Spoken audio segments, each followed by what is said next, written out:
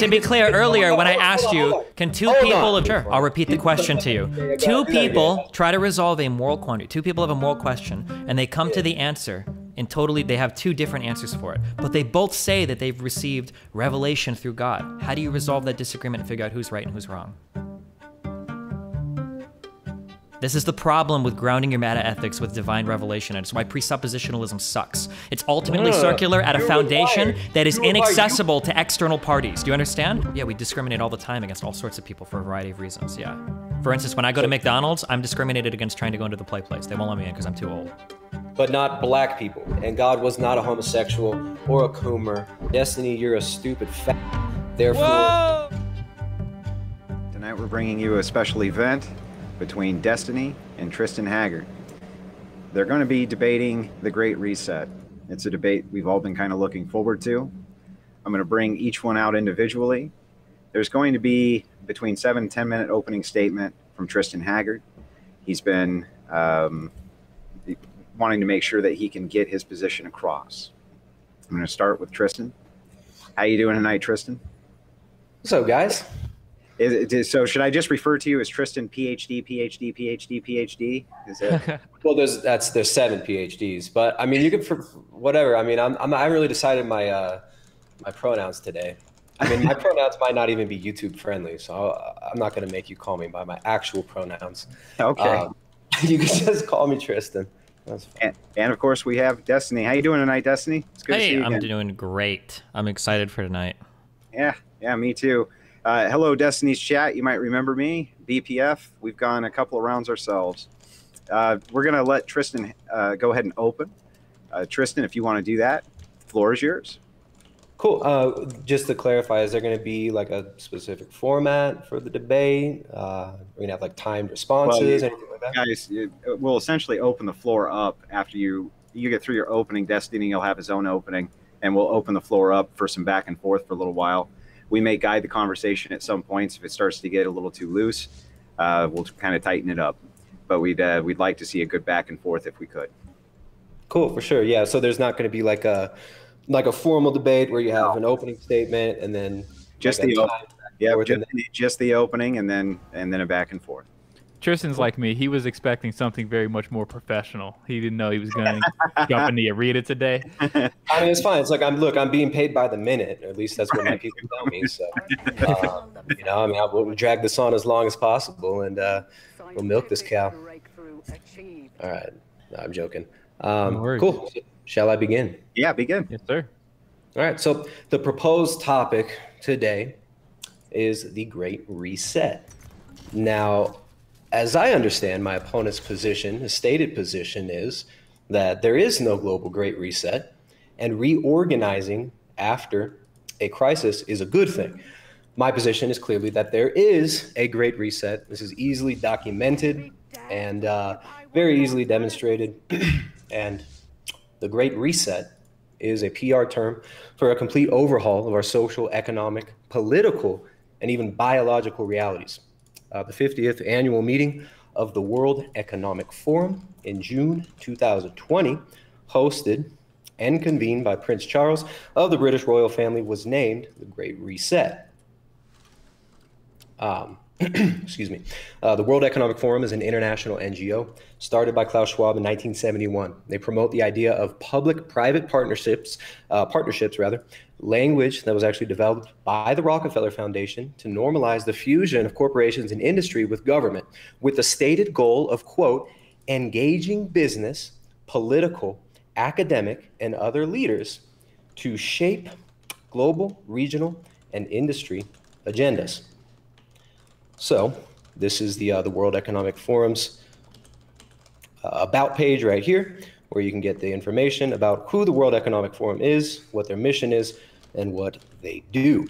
So, um, Klaus Schwab's book, uh, COVID 19, The Great Reset, was published in 2020. Klaus Schwab, the, uh, uh, the leader of the World Economic Forum, the guy who started the World Economic Forum, says that the virus gives us a quote, great opportunity, and the world must act jointly and swiftly to revamp all aspects of our societies and economies from education to social contracts and working conditions. Uh, the Great Reset is an open agenda of revolutionary, utopian, technocratic internationalism proposed by transnational stakeholders of global megacorporations, international banking, NGOs, big foundations, and billionaire philanthropists. Vague, loaded PR terms are used by mass media to market this emergent technocratic overhaul that is utopian and revolutionary in its nature. Uh, those PR terms include the new normal. These are all terms that are used by these people. These aren't terms that I'm just making up. The fourth industrial revolution, another term, the green recovery, the green economy, based on stakeholder capitalism or a quote circular economy and the sharing economy within a smart society of smart cities will be the new normal, right? So, um, the World Economic Forum on their website uh, publishes much of this stuff. There are thousands of articles on the website from the World Economic Forum. They represent essentially a global conglomerate of corporations that promote this idea of public private partnerships. Um, Prince Charles actually framed this uh, global Great Reset as a wartime, quote, military style campaign and Marshall like plan, end quote uh, for the transformation of all aspects of our lives steamrolled in under the excuse, uh, the excuse of the COVID 19 crisis into a permanent wartime global response to the climate crisis. All right, so the use of COVID 19 to usher this in, and then the pivot to using all these same measures to fight the climate crisis is essentially what the openly stated goal of the Great Reset is, according to the World Economic Forum. Uh, so the complete overhaul of the social, economic, political, and biological realms being enacted openly and internationally as a response to the COVID-19 pandemic and so-called climate crisis by the WEF, who entered a, quote, strategic partnership with the UN in 2019. Right, so they entered a strategic partnership with the UN. This is all open, public knowledge. This is a global partnership moving towards global governance. Right, the IMF, the World Bank, politicians, transnational corporations, and even religious leaders, including the Pope, have publicly advocated for the sweeping global reform agenda of utopian technocratic management of people and resources. So, the Pope, in a 43,000 word long encyclical published in September 2020, uh, Pope Francis, this is a quote from the World Economic Forum, put his stamp on efforts to shape what's been termed a great reset of the global economy in response to the devastation of COVID 19. So, this is not just a social movement, it's not just a political movement. It's, it's actually even a religious movement. Uh, so, this global revolution, what, what Klaus Schwab calls the fourth industrial revolution, he wrote a book, it was published in 2016. Got it right here The Fourth Industrial Revolution this fourth industrial revolution is not just social, it's not just economic, it's not just political, but it's also biological in nature. Okay, it's a total revolution. Just like Huxley's final revolution, Aldous Huxley, who wrote extensively about such a revolution. Uh, and this is why the third section of Klaus Schwab's book, COVID 19, The Great Reset, which I got a copy of right here, Klaus Schwab's book entitled COVID 19, The Great Reset. the third section of this, um, uh, excuse me, the third section of this book says that this revolutionary overhaul, overhaul will be a quote, redefining of our humanness, end quote. Klaus's 2016 book, The Fourth Industrial Revolution, expanded on this concept and how this reset is ultimately a transhumanist transformation of man. Klaus said, quote, revolution will lead, uh, this revolution will lead to a fusion of our physical, digital, and biological identity. Okay, this is a religious movement. It's not just a uh, movement of the economy. It's not just a change in the way we we see the response to uh, pandemics. This is essentially a revolutionary movement seeking to redefine humanity, as Klaus Schwab says. Um, so it's a religious movement, and it's based on faith in scientism. Right? It's a faith that has a creation myth, Darwinism the faith with a priesthood, an exalted uh, expert of technocracy. It's a pre, it's a uh, faith with an eschatology about the perfected tecu- uh, secular technocratic order emerging from the great transformative crisis opportunity that is COVID 19 and the climate crisis. Uh, it's a new covenant, a new social contract that seeks to redefine humanity and bring about a new smart transhuman. So I got a clip here uh, from Klaus Schwab. Just gonna real quickly play a quick snippet here. I think you'll be able to hear this. It'll go through my microphone.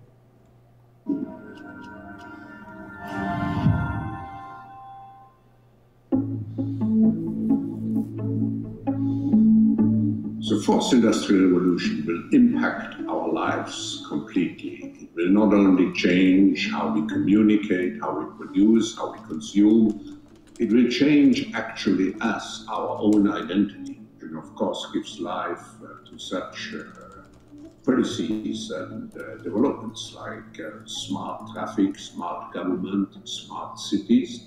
What it will So, again, this revolution, the Great Reset, the Fourth Industrial Revolution, that Klaus Schwab and company say that needs to be ushered in in response to this is about the redefining of humanity. Smart humans, smart cities, smart grid. This revolution is a push for a new, redefined, transformed man, as proposed and explored in Stanford Research Institute's 1974 research project and book entitled The Changing Images of Man, which begins with a quote from U Thant, a Burmese diplomat and the third Secretary General of the United Nations, giving a Malthusian call for global government in response to several crises. The quote is this I do not wish to seem overdramatic, but I could only conclude from the information that is available to me as Secretary General that the members of the United Nations have perhaps 10 years left in which to subordinate their ancient quarrels and launch a global partnership to curb the arms race to improve the human environment and diffuse the population explosion and to supply the required momentum to development efforts. If such a global partnership is not forged within the next decade, then I very much fear that the problems I have mentioned will have reached such staggering proportions that they will be beyond our capacity to control. The changing images of man calls for a new global mythos to unite humanity and transform culture and man himself. The new man of the Great Reset is sold to us as a Superman a Nietzschean Ubermensch who evolved beyond good and evil, transcending and evolving past his mythological, less evolved monkey and mouse ancestors to build a revolutionary technocratic utopia where a digitally interconnected techno-biological fusion of humanity forms an internet of bodies. All right, that's a term from them, the internet of bodies. This type of superorganism in a Platonic republic was theorized by 18th century utopian revolutionary Henry Saint Simon, who said, Humanity should be ruled by a priesthood of industrial chiefs, much like Plato's philosopher kings, with men of science as the new priesthood, directing the spiritual vision of man who's no longer made in the image and likeness of God, but remade in the image and likeness of a machine. Bertrand Russell, heralded by many as a great philosopher and logician, articulated the worldview that justifies and drives this revolutionary fervor of scientism that the Great Reset is a result of. Russell assumes, like the technocrats of the Great Reset, that the problems of society stem from overpopulation. The climate crisis of the present day elite is, of course, a rebranding of the Malthusian overpopulation mythos that Russell put his faith in. Man is viewed as an environmental toxin whose existence is detrimental to a deified nature. Right? Nature becomes deified. The prescription to fix the problem of man was just like today world government and the scientific management of man at every level in his 1952 book, The Impact of Science on Society, Russell wrote that, a, uh, that we should see the crisis of man requiring a total overhaul, a great reset of the global order. He said, and this is a quote from Bertrand Russell from The Impact of Science on Society a clear choice must be made within 50 years.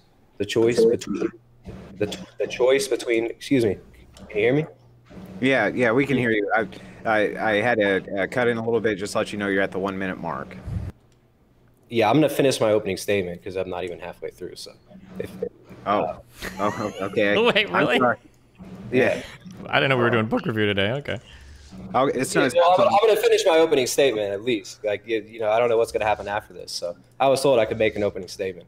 No, uh, so no, you, you his 1952 book, The Impact of Science on Society, Russell wrote a clear choice must be made within 50 years the choice between reason, and he capitalizes reason, and death. He also capitalizes death. Uh, and by reason, I mean willingness to submit to law as declared by an international authority.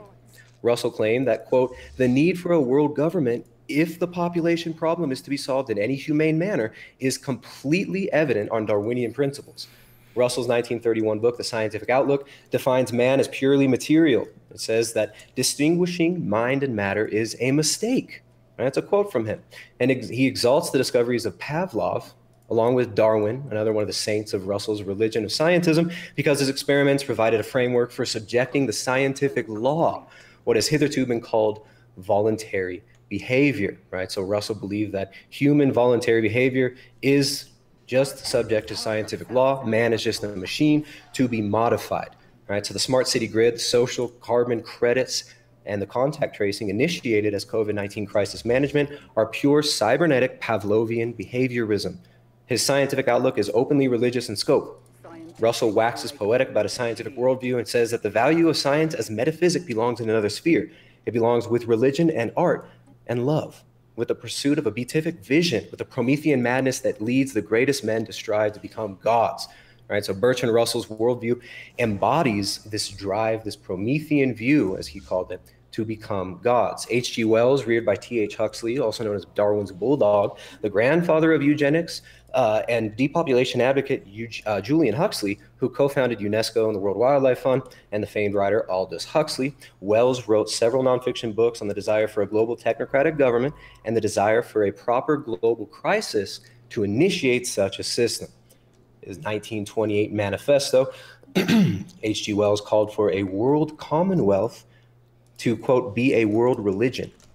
Wells claimed that man's soul is no longer his own. It is, he discovers, a part of a greater being which lived before he was born and will survive him.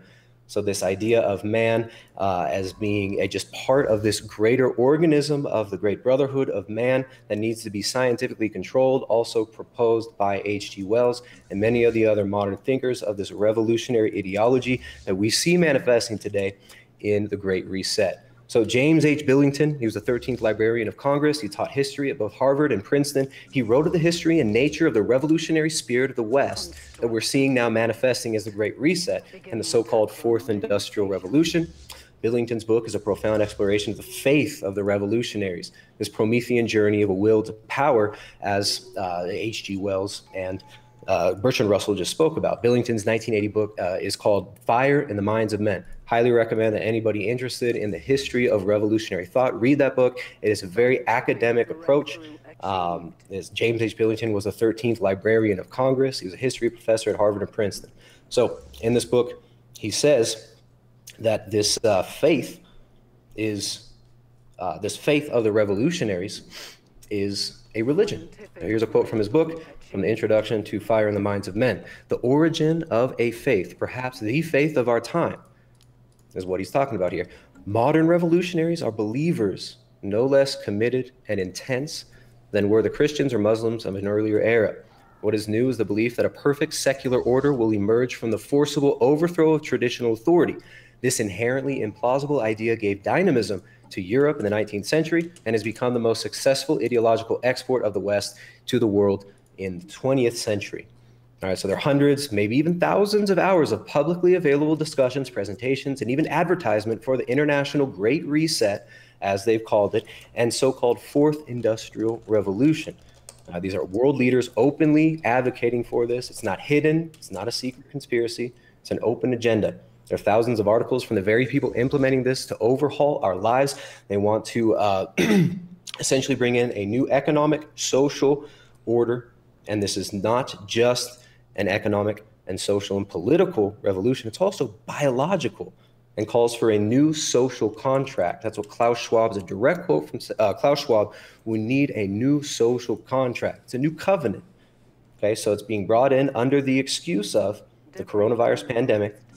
It's essentially a uh, what Prince Charles called quote military style campaign and a Marshall-like plan end quote, uh, to restructure our social, economic, political, and biological lives in response to a crisis that is framed to the masses in a way that makes it perpetual and even unwinnable.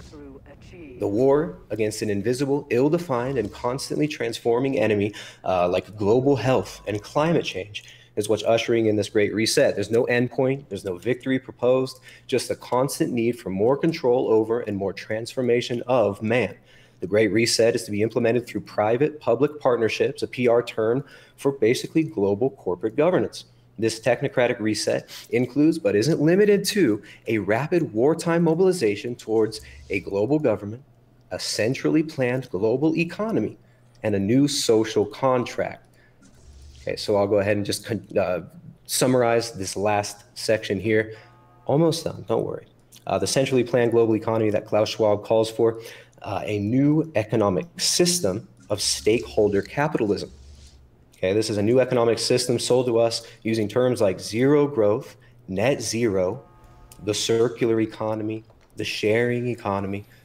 and it's a global economy built around digital identity and social credits, carbon credits.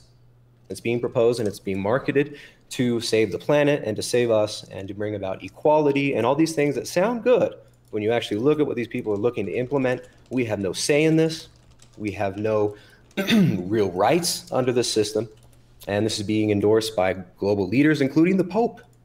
Uh, the Pope, uh, excuse me, uh, the Pope, Pope Francis, endorses this economic overhaul and the Great Reset by blessing the Council for Inclusive Capitalism, an initiative founded by Lady Lynn Forester de Rothschild. This council includes Bank of America, BP, Johnson & Johnson, Salesforce, Visa, and tons of other partners, including the Rockefeller Foundation, the Ford Foundation, um, and the UN Special Envoy for Climate Finance. Okay, global government, global governance includes a standardized international digital ID as proposed by the ID 2020 organization, which Klaus Schwab uh, saw as a cornerstone of his fourth industrial revolution that would bring a quote fusion of our physical, digital, and biological identity.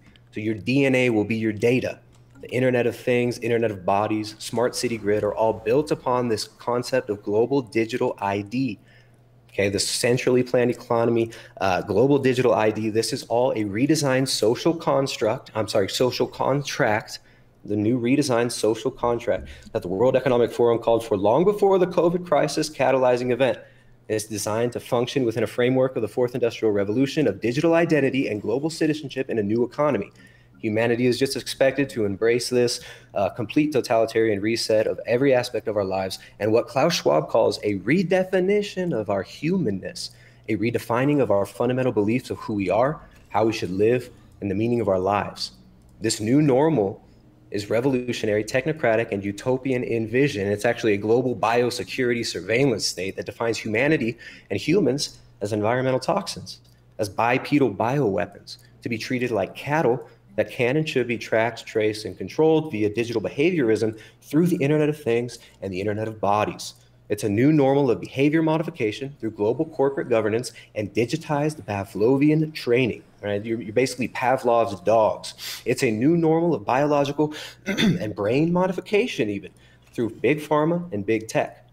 Klaus Schwab told Time magazine that, quote, the fourth industrial revolution is that it's, uh, it's not a revolution, it's a system. I'm sorry, it's not a product revolution. It's a system revolution. It's a revolution of all the systems that we live in. Right? The product of that new system is a new man, actually a transhuman. The Great Reset is openly touted as a social, economic, political, biological, and even a religious revolution. This Great Reset is not only undesirable, it's inherently dehumanizing. This revolutionary faith assumes man is an automaton, a beast to be controlled. It transforms man, who, from the Orthodox Christian perspective, is made in the image and likeness of God, transforms him into an animal that's inherently bad for a deified and mythologized nature, an animal that must be controlled, tracked, traced, and reduced in number for the greater good, a materialist good defined by a self proclaimed elite, the stakeholders who will eat the steaks while the masses eat bugs and GMO soy kibble rations. It's based on false premises of a dehumanizing religion of revolution, a faith in materialism and humanism that exalts man as the measure of all things, who can, through his will to power, create a perfected global society. St. Eugene Popovich, his critique on European humanism, described this evolutionary so-called Superman and said, quote, in all respects, this is a man without God and without a soul. In other words, a godless and soulless man, a robot. A robot is a robot by its non recognition of either God or the soul. After killing God and the soul within himself, the European man has been gradually committing suicide over the last several decades, for suicide inescapably accompanies deicide.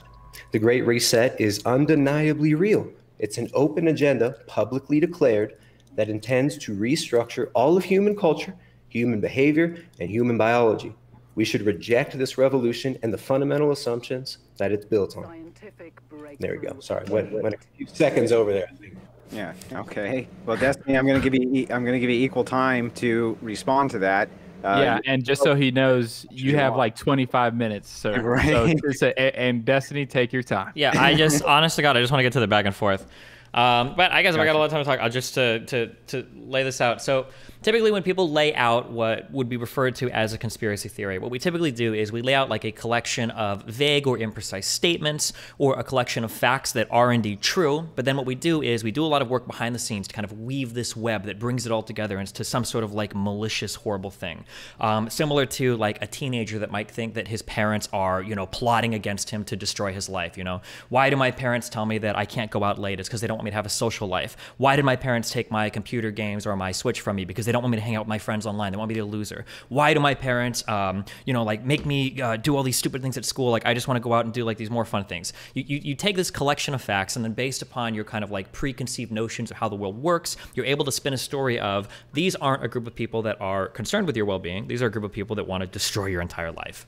So typically, the way that I, te- I tend to approach the breakdown of these types of ideas is I, I, we have to go through the particular examples of what it is you're saying is being done during the Great Reset to see if we can find some of these more nefarious or treacherous ideas or things or policies or proposals at least or ideas at least, and then see are these actually as bad as we say they are. I notice that there's a lot of buzzwords being used in here. We've got stakeholder capitalism. The concept of stakeholder capitalism, to my understanding, is not really that bad. The idea is that all of us have a stake in the well-being of our big corporations and our countries that these corporations inhabit. Therefore, those corporations ought to be beholden to the people that power them, namely the citizens of the countries that have these corporations.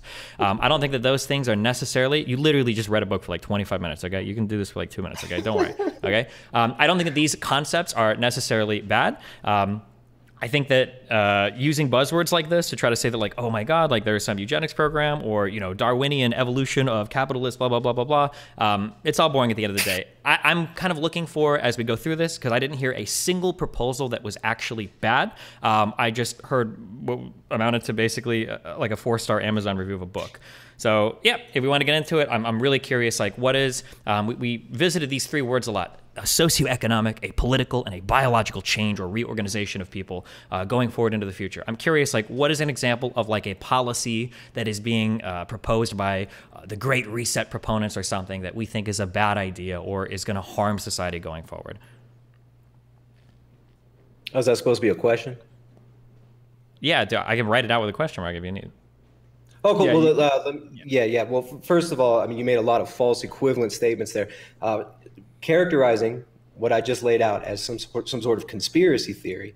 Uh, that's that's a straw man. Uh, that's uh, you're you're tearing down a straw man of a conspiracy theory, which I'm not proposing.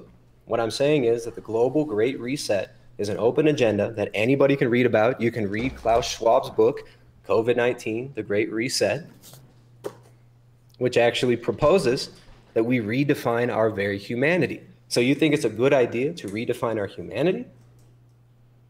Oh, you're not even here. My, my argument's not even worth listening to. You just walk away. Uh, just give me a second. Destiny has left the room. no, he's coming back. Give him a second. Yeah. So Okay, I'm sorry. Hold on, wait. So my question was, I just wanted one policy, but I know you're about to ramble for like 20 minutes about. I just, I just want a policy or something. I don't need like all of this. You just did this for like 20 minutes. I, am just curious, like what's like, excuse what's me. an example? No, excuse me. You didn't even listen to what I just said. I listened to like half of it, and I can guess the other half. I, like you walked away from. Oh, you can guess the other half. Uh huh. Yeah.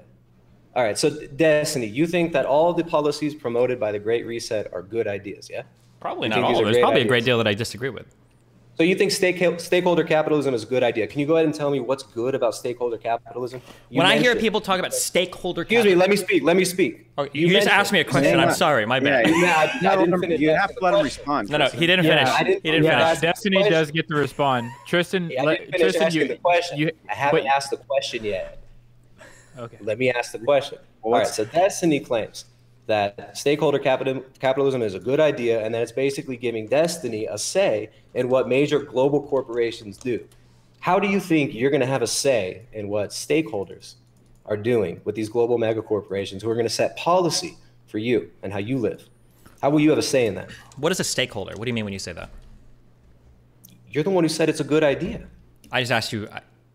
Hold on, wait, wait, wait, wait, hold on, wait, wait. Oh my God, hold on. Just I deal with a lot of like schizophrenic people in my community and shit, so it's like this is gonna drive me crazy. I'm just asking you a question. I don't need you to give me a speech or ask me 20 questions when I ask you a question. I'm just uh, asking you simply like, what is a stakeholder? What is a stakeholder Yeah. is an ill-defined concept that Klaus Schwab and the World Economic Forum propose for this new global economic system. Okay. Stakeholders, they say, are the planet. Hey, shut up and let me finish. They say that the stakeholders are the planet, you, the people, right, as well as these global corporations, heads of corporations, and the shareholders. So stakeholders are the planet as well as the global population. Right? How are you going to be a stakeholder in this? These are ill-defined terms. You They just said, yeah. it. So you keep saying, how am I going to be a stakeholder in this? I'm a member of the planet, right? So I am a stakeholder. You're a member of the planet. And what is the planet? Uh, do we have? Are we doing flat Earth as well? This debate? I don't know how No, much I you're signed a up for. member it. of the planet. You're- I mean, see, I'm a human being. I live on. It's a Okay, conspiracy. so okay, let me. Okay, fuck. I have to do this. what is the So, wait, wait, hold on. You're a, so let how me. are you a member of the planet? Because I'm a human Please being and I live on this planet. So let, let me just talk for a second, okay? Yeah, Yeah, you're you, a have to give human him, you have to give him a chance. Okay. You have to give him a Yeah, chance. it's fine. Tristan. Do you, do you want to add anything more to this? Because so just so you know where I'm going, because I'm not trying to ambush you, you. It seems like you don't know what a stakeholder is versus like a shareholder. Now I'm about to explain that. I'll give you one They more don't even opportunity. explain. The World Economic Forum mm-hmm. itself does not even Okay. explain what a stakeholder That's is. great. It's a loosely shh, it's a loosely defined term that mm-hmm. they can redefine as they choose. okay. I'll- Just uh, like a uh, green mm-hmm. economy. What is a green economy? What is a green recovery? These are ill-defined terms that can always be shifted. Well, to help put us back on track, Okay, well, answer his yeah, question no, no, and give us what in the in the, the regular definition of what a stakeholder Wait, here, in yeah, the I'll, I'll, regular I'll, so economy is. I'll, I'll explain this. So the concept is that you have shareholders and then you have stakeholders. Now, traditionally, uh, uh, traditionally, the fiduciary responsibility of a company is to the shareholders. A shareholder is somebody that owns equity in a business. Um, or maybe has loan money, but generally, like a shareholder somebody that owns a part of a business.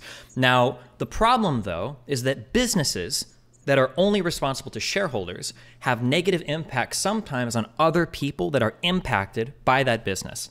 So, for instance, let's say that we have a business that um, handles, I'll, I'll use an example like toxic waste or something, right? Now, you might be a shareholder in that company. However, it might be the case that there is a town that you dump that waste in. Well, in a way, these guys are kind of stakeholders in the company. So, a stakeholder, my understanding of what a stakeholder is, is stakeholders are typically people that are impacted by the activities of a business. So like a state the stakeholders are typically much larger than the shareholders of a company. And if a company doesn't have to be uh, concerned about the stakeholders of a company, but only the shareholders of a company, you have problems where the incentives are misaligned such that a company can do things that dramatically enriches the shareholders but ends up fucking over a lot of the stakeholders. That's the problem. So we can talk about like internal shareholders for a company. Like an employee for instance is going to be a stakeholder. I think I, I might have say stakeholder. An employee might be a stakeholder because you work at a company, um, but you don't really have shares in the company, right? And an external stakeholder um, might be uh, uh, maybe somebody that is like a customer to a, a business, or it might be like a, a town that a business like operates in. So when somebody says that we need stakeholder capitalism, my understanding is that rather than having these mega large corporations fucking over the entire planet and burning everything down and taking everything for themselves and enriching just the people that are rich enough to have a share of the company, stakeholder capitalism says, well, hold on, these companies need to act in a way that benefits all of the different groups that they impact as well. Yeah, yeah, yeah. And and who defines how? Who defines what's good? Who defines what's good for the planet? You're, you think you're going to have a say in that? How are you going to Well, have a say in that? How am I going to have a say in that? Well, so when the Yeah, government, in, in your in your oh, you're not going to let me reset, answer. You're just going to keep totally rambling. Is that? Yeah, yeah, I'm, uh, I'm trying to finish my question. No, no, no. You're not Trying- finishing a question. You're asking a question. You're steamrolling after to give the impression that you Yeah, have like more authority in the that's what I'm conversation than you do. In this global, in this Actually, global I'm just going to talk over you. Okay. So So swell you're asking me, so- how do you have any if you- if you impact guys- on a corporation? enough, enough, Tri- enough, Tristan. to talk over me and. Stop, I want, I to clarify the question. Tristan, I'm, sorry, man. I'm sorry I had to do that. I'm, s- I had to mute the mic. There's too much chaos. You have to you have to chill out for just a second. If you ask a question, you've got to give them a chance to respond to it, man. Just give them a chance to respond to it. Finish formulating the question. Okay, finish in your, formulating in the your question. stakeholder capitalism, which you say is so great. How will you have a say in what is good for the planet, and what is good for society, and what is good for the stakeholders, which you obviously identify with? You think you're a stakeholder. So, how are you going to be putting in your two cents on how this is to be implemented, on how we det- uh, determine what's good for the planet? Gotcha. So the way that we do this is legislatively. Oftentimes, Congress will write legislation that will have an impact on the way that businesses operate. As a stakeholder in how these businesses operate, you have some input when you elect people to Congress or to your state or local governments for how you want these types of things negotiated. So an example of this might be um, as part of the negotiations for large multilateral trade agreements. Might be. Um, Might Are you be. okay? So you're, you're so you're gonna you're just gonna speculate on how you might in a hypothetical situation have a say in this. Okay, I'll tell you how you have a say in this then. When How you yeah, so through it can be through protesting, for instance. So You're all three- protesting. okay, okay, yeah. You're gonna protest. can you tell me what have a say happened to the Keystone? Can you tell me what happened to the Keystone Pipeline or the Dakota Pipeline? Yeah, I didn't think so. So shut the fuck up, right? You can have impacts over what goes on in your environment. There have been massive projects if that have been canceled. Can gonna- I finish a just gonna single thing? There have been you're just- massive projects that have been canceled because of either protest or because of people directly sound like you're about to influencing raise their If you're just leaders, gonna- their elected leaders. raise pride And Soisberg out. I'm not time. Soisberging, He's dude. not- you've listen, talked like he's- 10 he's times as not much as me. spurting. He's trying to answer the question. Yeah. For outsiders watching, let him finish the answer, and then you He's guys not have it back answering the question. He's giving. I just gave you- equivalences and he's- You, Stop using Yeah, debate bro terms, bro. We're not like gonna. This is a false equivalent. You've done it. You've engaged in a level four straw man. Like, dude, chill. Have a be a human being, okay? No, you don't. You don't believe in. Lo- you don't believe in logical fallacies. I believe in logical fallacies, but when I'm talking to another human being and I'm not trying to win a debate on Reddit, I usually just say like, "Hey, bro, you said this thing. I think it's not right." That's usually how I talk. But if you want, we do. can You- employ you- like you've the language of fucking insulted. like philosophy and try to say like, "Oh, You've well, been actually, you've insulting. Yeah, engaged no, I in a level three false prefer- equivalency, and I the propositional logic doesn't necessarily follow deductively. If we would actually analyze Yeah. this, like." I would much prefer that we had perhaps timed responses, so and that that's each one of us. We can do two minutes. Yeah, we can do that. But when you Yeah. ask a question, Tristan, at least give your opponent 15 seconds I've to given him lay their plenty of time to answer the question. Okay, let's I'm okay, let's do. out- I vote. I vote for this. This is, by the way, now I'm a stakeholder in the show. and Now I'm going to vote on the show to have input. Okay, there's an example. I vote that we move to time response then because this guy can't handle back and forth. Okay, all we're right? Yeah, gonna okay. do we're gonna do one minute timed responses starting now. We'll start with you, Destiny. Go ahead. Des. Uh, I don't even know what. what oh, so the example was how do we have We know you inputs don't. on what You- thing? Was it who's? Is your name Destiny too? Did I? Yeah, no, it's it's okay. it's time. All man. right, my bad. Holy shit, I. I got mind fight. I thought my twin was here. Um, okay, so the way that we have input is through either protesting. So, for instance, there have been three major pipeline things that have been canceled in the United States, or it might be through our elected officials. For instance, the TPP largely died under Obama because it didn't have very much support um, uh, legislatively because people weren't too keen on being involved in the TPP. But even as an example of the TPP, if it would have passed, part of the provisions of the TPP was, was that while you were negotiating um, certain types of provisions, like what did labor have to look like overseas, part of the people that had a seat at that conversation were local labor unions. For instance, like the AFL-CIO had direct input on this legislation saying, hey, if we're going to have people in Vietnam manufacturing stuff for us, they need to have these rules and restrictions to make sure that we're competitive. That's an example of being a stakeholder in other businesses, and it's an example of how we can achieve something that, that, that legislatively. All right. You're, you're Okay, up. cool. So that was a non-answer and completely, uh, completely uh, ancillary to what we're actually talking about here. This has nothing to do with AFL-CIO. This has nothing to do with the TPP.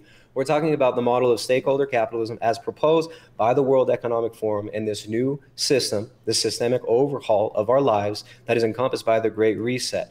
So the Great Reset, as Klaus Schwab says, is a fusion of our digital and biological identities right? So this means that your data is going to be your DNA. You're going to be redefined. Your humanity will be redefined. Do you think that's a good idea to redefine humanity?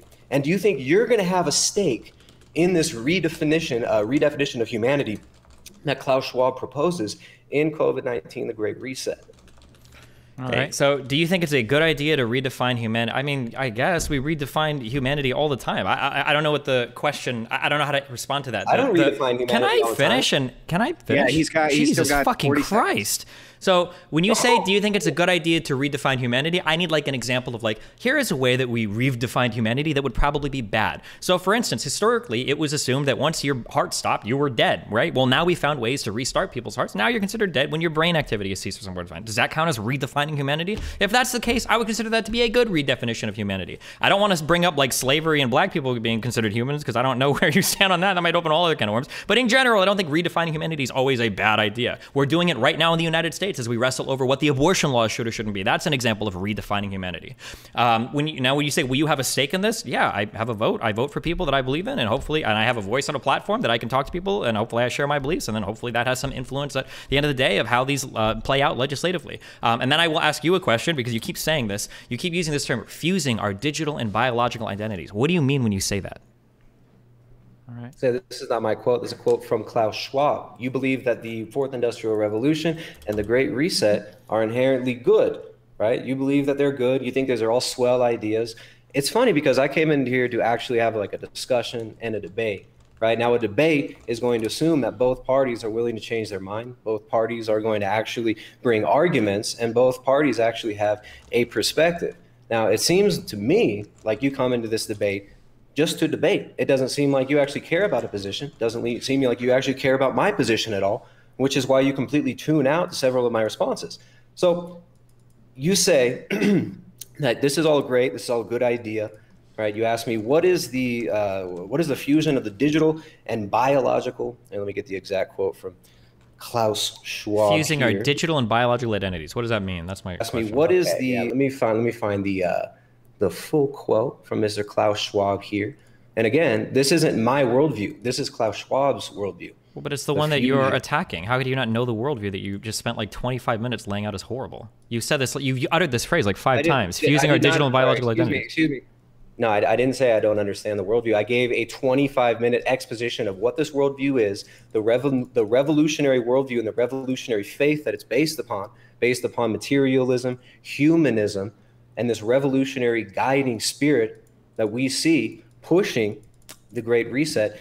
I, I just gave a 25 minute presentation on exactly that. So to say I don't understand the worldview here Here's the quote Klaus Schwab talking about the fusion of our digital, uh-huh. of our physical, digital, and biological identity. So let me just pull this up here. to be clear, you don't know what this is. You have to go find the quote, right? Okay. Excuse me? Hmm. To be clear, you don't know what that means. Fusing our digital and biological identity. You just think it's bad, but you don't know what it is. Just no, I didn't sure say I don't know what it means. Well, then why do you need to go and find the quote? Why can't you just tell me in your own words right what it means? Here, why don't you? All right, listen. Can you slow down for a second? Go and play. You've talked four times as much as me, my dude. I'm sorry if I'm moving too quickly for you.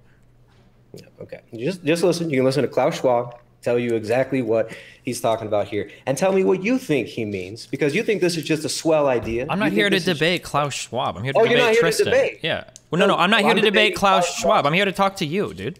You're here debating for Klaus Schwab's ideas that you don't even understand. So you think this is all great, but you don't even understand the ideas. You're, you're clearly not actually here to debate. You don't actually understand the topic. Can, so you all. can't. Okay, so and you're not even here debating in good well, faith. You, you do. You I'll do. give you the benefit of the doubt, and I'll let you hear Klaus Schwab himself give you the exact quote that you were asking about. So here it is. Okay, you ready to listen? You're gonna keep your headphones on this time? You're gonna stay and listen? Um, yeah, I hope. Yeah, we, I hope we get this other guy. The Klaus, just, this Klaus Schwab guy sounds like an interesting dude. Maybe I should just talk to him next time instead of like his proselytizer or whatever. Okay, so you Wait, you're actually playing me a video? Holy shit. I'm sorry. You, you want to hear the quote, right? You well, he's just giving you the quote from the video. That's my bad. I understand. That was my bad. What, what the fourth industrial revolution will lead to is a fusion of our physical, our digital, and our biological identities. Um, when I wrote the book, I started to, to, write it for, four years ago. It was published three years ago. Um, uh, it was sold very interesting over a million times in the world. And um, what is what is interesting is that 800,000 copies, more than 800,000 copies of those two million were sold in three countries alone: China, Japan, and South Korea. You may be interested who was the biggest uh, buyer with 16,000 copies at the same time. It was the Korean military. Um, so again, the idea of transhumanism has been used, has been uh, proposed by militaries. You have DARPA, very interested in transhumanism, uh, in the fusion of the digital, biological, um, uh, physical, digital, and biological identities. right? So the idea of transhumanism, human augmentation. Um, you have the Ministry of Defense from the UK with a recent white paper, human Okay, can I make a quick request? The You're- dawn of a new phenomenon. All right, look, if you if you're just gonna interrupt, You're like playing videos and rambling. I just want to be like really concise. No, no, no, no, I'm not. I'm not playing videos and rambling. First of all, that that's not what I'm doing. I'm You're- actually making an argument. So you no no you're not. I'm, I'm not asking you for an argument. I just wanted a definition. Hold on, hold on. No, no, this is a debate, and we're here to make arguments. I know you're not actually here to debate. I know you're not actually here in good faith. You've actually. You You've better actually- let him probe. Tristan. Tristan, he's just get he's asking for a point of clarification. Yeah, I'm literally just asking. I just because I don't. Uh, you're right. Okay, I don't know what the fuck we're debating right now. I am lost, and so I'm asking you, Tristan. So why would you come to a debate I'm you have asking no you- idea? You're because I didn't realize how ideas. I didn't realize how out of my league I was. This Klaus guy has hit me with some big thoughts, so I'm asking you for guidance. Cool, okay? okay. now you're telling Okay. me that this guy is saying he wants to fuse our digital and biological identities. I don't know if I should be scared of that or not. So I'm asking you, Tristan. Can you tell me I'm what not- the I'm fuck does sure that if we mean? Should- we be scared of that? Do you think that's a good idea? Well, Like, you're th- telling me that it's not, so I'm asking you, why is it not? What is it? That's all I'm asking. Right, well, he's he's pointing to this transhumanist reality where we will be essentially using biosurveillance devices ubiquitously and what they call the Internet of Things and the Internet of Bodies. Right. So in the, uh, the introduction, I'm sure you caught those terms. I used those about four times. Um, so the Internet of Things and the Internet of Bodies are frameworks to connect all human organisms to the internet via uh, via surveillance devices that will be on us as well as inside of us, which is why Klaus Schwab says that the fourth industrial revolution will transform us. So it's an idea of transforming ourselves, human augmentation, transhumanism. Okay. So I mean, this So- is essentially so- something that the military has been talking about for a long time. DARPA, the Ministry Mm-hmm. of Defense, also like these ideas. Okay. So would like would cell phones count as this as surveillance devices because they're devices that we keep on us at all times that like can keep track of our location or And uh, Klaus Schwab's talking about like implantable medical devices, Okay. stuff like that. can you Like, give me an example have- have, have do these things exist? Yeah. Can you give me an example of like an organization that's implanting these or people that have gotten these that didn't opt in for them or like is there any example of this happening? What uh, What are you asking? That didn't opt in for them? No, yeah, like forced. uh, yeah, has this happened to people? Are there like Is, it, being- is that what it have to? It would have to be forced. I mean, nobody's being forced to have these implanted in them. Well, if people are opting for like, if people are opting into something, then it doesn't seem like it's very conspiratorial. Then it just seems like people choose to do. You're some the one who things. keeps saying that this is conspiratorial. Nobody said anything about a conspiracy. This is open, Okay, to right? be, this is not a conspiracy. sorry. This is When I, open- I'm sorry, I'm sorry. When I said conspiratorial, I just meant like a like a, there's a giant plan for something, not like fake. Okay, so I'm I'm just no, this this isn't. This is open. It's being Yeah. Mm-hmm. planned. It's being promoted by the World Economic Forum, global okay. corporation. Yeah, yeah. So can you give me an example of like one of these biosurveillance devices that you don't think should exist? Did I say they shouldn't exist? See, and again, you're you're trying to straw man my arguments. I'm not. make Can you please stop using debate bro terms? I literally, I'm just no, asking questions. I don't even know what the fuck you believe. Wait, so you think these are good even- things? you're, you're playing a sneaky little game here where you're not letting me actually Fuck, explain. this guy is, like, psychotic. Position, which I which I I did explain my position in the very beginning. I'm not saying that we shouldn't have technology. My position is not that we shouldn't use cell phones, which you just tried to straw man, right? These are not debate rogue terms. These are actual logical fallacies. Do you believe that you can use logical fallacies in a debate? You No. came here to debate. Okay. Yes. Hold on. Let's back up for a second. Okay. Do you believe that you can use logical fallacies in a debate? Absolutely not. Okay. Let's just Okay. wait. Let's just. So, pull- all can we well, just here's, wait? Can we just? one example. Hang on, hold hang on, on. hold on. You got your minute. You got your minute. You got your minute in. Let him respond to some of what He you asked me a question. and I was going to answer the question. Okay, we'll get back to it. I promise. Go ahead, Destiny. Okay. I just want to pull back for a second and just chill. Okay. I'm just curious, It's Tristan. Like, what's like your favorite bullshit. TV show? Like, do you like Game of Thrones or? Are you into?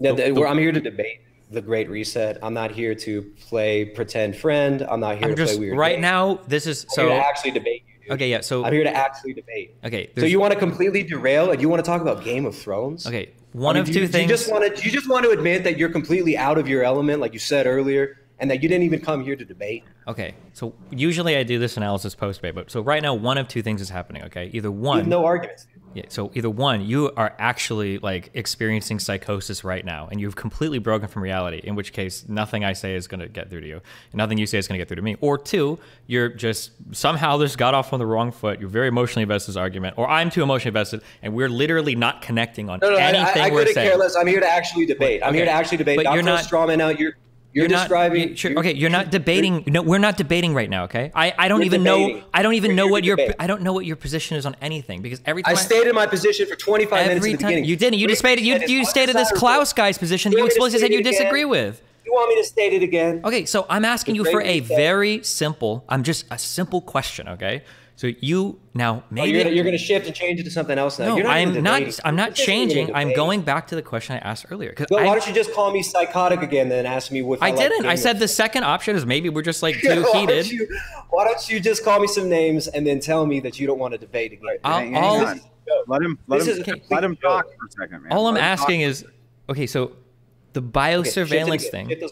I'm not Yeah. shift. Go No, we haven't even gotten to the Shift field. There are no goalposts yet. Okay, I don't even know how to score in this conversation. All right, so yeah, yeah, yeah. Because you won't let the conversation actually get started.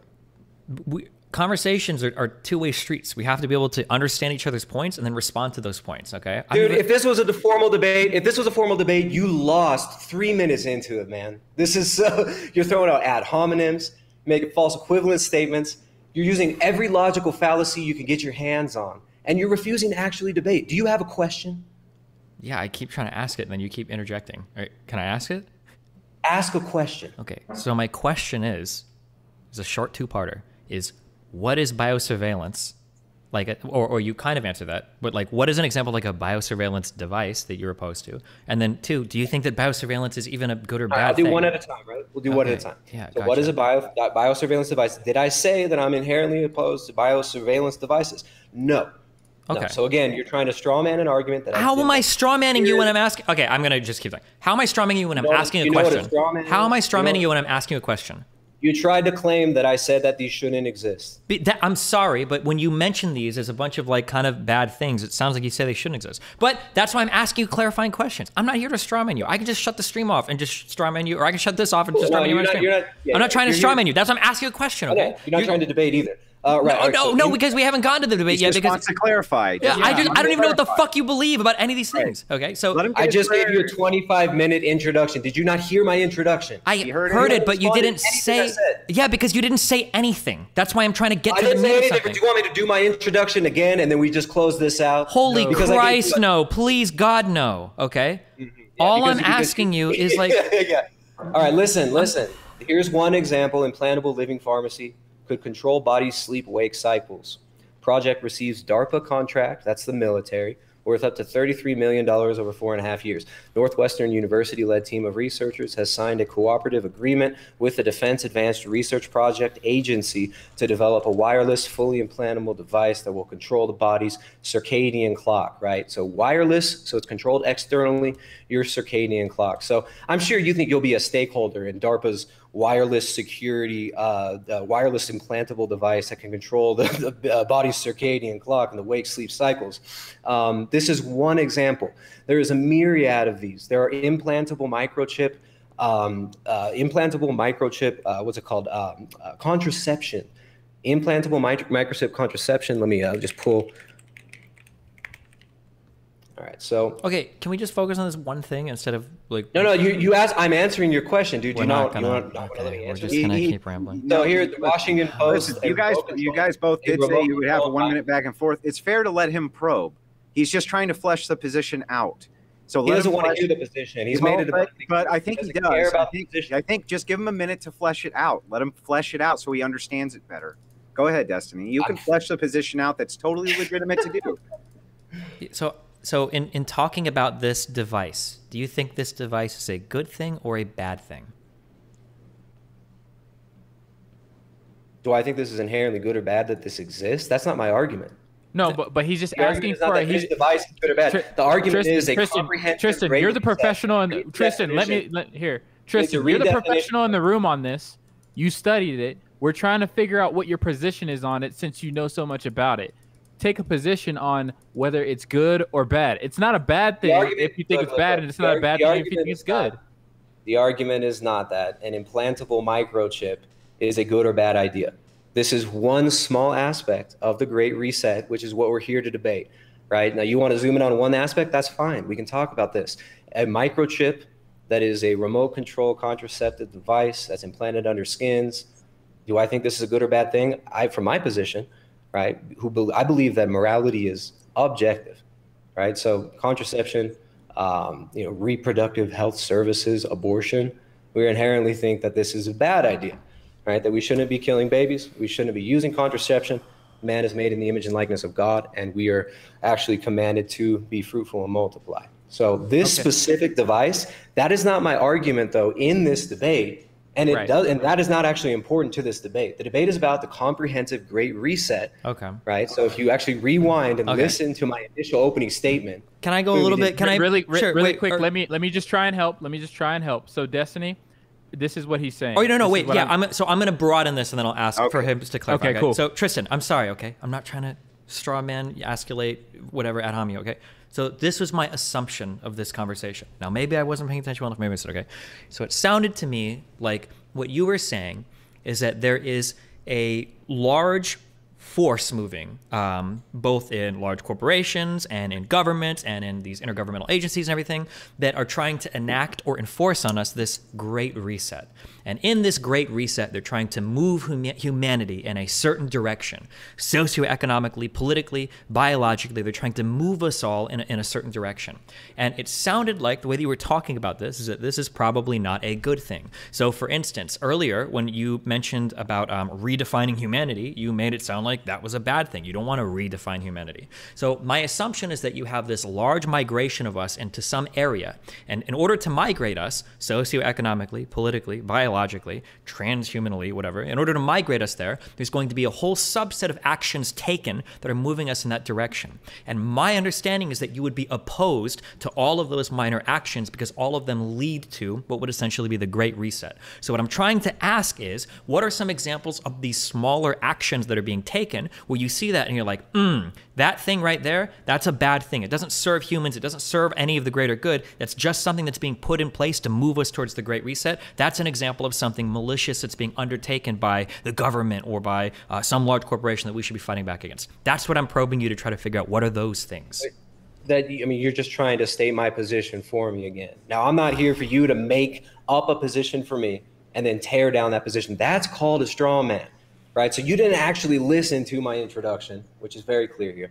I believe that the Great Reset is not a good idea I believe that the Great Reset is inherently not a good thing, right? Now you are arguing for the affirm or for the negative. You're so normally I would like do the analysis after. I don't know how to like. I don't know if I can like get through to this guy at all. I have no idea. I just I don't know what I can say. I, I feel like he's crazy. Like he's psychotic. I, I, I have no idea. I don't know how to. I don't know how to get through. Right. So that this is what I came here to debate. We're debating the Great Reset. I'm not here for you to make up a position for me and then tear that down. Okay. Um, can I ask just, just real quick? Can I ask? like, hold, do do Andrew or Pedro? Do you guys feel like I'm trying to strawman this guy, or am I fucking crazy? Well, well, well, here, here. I just read this. I just read a, a, a good comment. Okay. And it's uh, it's saying the debate was over the existence of factual evidence leading to the Great Reset and whether it will happen or not. What Tristan, I think, while I agree, very very complicated, was laying out pieces of evidence, like you did identify Destiny, that will lead to that. Right so it, it's a matter of fact that it's happening. Well, right? so the thing, yeah. So here's the interesting, the interesting conversation about the Great Reset isn't like, are we changing as we move forward as a species or whatever? Because that's that's a process that's constantly happening, right? Like even saying, calling it the fourth industrial revolution, are you like, is that implying that you were opposed to the third or second industrial revolution? Like, I, I don't understand the implication of that. If somebody is going to say, for instance, like, I'm not gonna, I'm not gonna sit here and say that, like, oh yeah, like nothing in the planet is changing. Of course, we constantly are, and especially during great times of crises, things will shift around more than normal. That's not only normal on a governmental level level. It's normal on a corporate level. For instance, if you file for bankruptcy, you'll reorganize your company. It's normal on a familial level. If something dramatic happens in a household, family members might move out, somebody might be committed to an institution. Um, and it's normal on an individual level. If you hit rock bottom, you might make a dramatic change in your life. So we can argue that there is some form of change happening, but I don't think that's necessarily a bad thing. I think that it's more important to look at the changes that are happening to make sure that people aren't taking advantage of a situation to pass something that we might not be okay with. For instance, like the Patriot Act versus something somebody uh, taking advantage of a situation to pass something that we do want to happen. Um, for instance, like Elizabeth Warren uh, strengthening the Consumer Protection Bureau um, to make sure that people aren't like committing as much financial fraud or something after the 2007 crisis. Um, that, that's that's like where the conversation I want it to be at. It's like, okay, well, if you think that some things are changing in bad ways, what are those things that are changing? Let's talk about that. You know, is Soros behind the scenes, you know, pulling the trigger on some projects that are going to fuck us later on, or is it just like naturally economies and governments and, and peoples like reorganize as like crises happen because that's always what happens. That's that's what the conversation I would hope would be about. Yeah, yeah, yeah. I, I agree. I think that this is what that conversation should be about, right? And when we're talking about fundamental changes to culture, uh, fundamental changes to humanity as are being proposed here, I mean, these people are proposing uh, a redefinition of what it is to be human, right? Now, when I asked you that earlier, you said you think that's a good thing. I mean, that that would I assume. didn't say I that. Now you're strawmanning me. Okay. No, no, you did say. Okay, You're so you don't think it, you said you think it could be a good idea to Hey, there. I said it could be, but I don't know what you mean by redefine humanity. I needed you to clarify that. You didn't want to. You just talked Yeah, a million well- times. Yeah. Well, this uh, you see Klaus Schwab and the World Economic Forum when he talks about this in his book COVID nineteen: The Great Reset. He doesn't actually define what we believe humanity uh, to be initially. He just says we can redefine humanity and gives a vague statement that this is a good thing, right? This idea of a new social contract that they're proposing. I mean, they have articles where they talk about we need a new social contract. Sure. So what are they proposing that's bad? What are they proposing that you They're- don't agree with?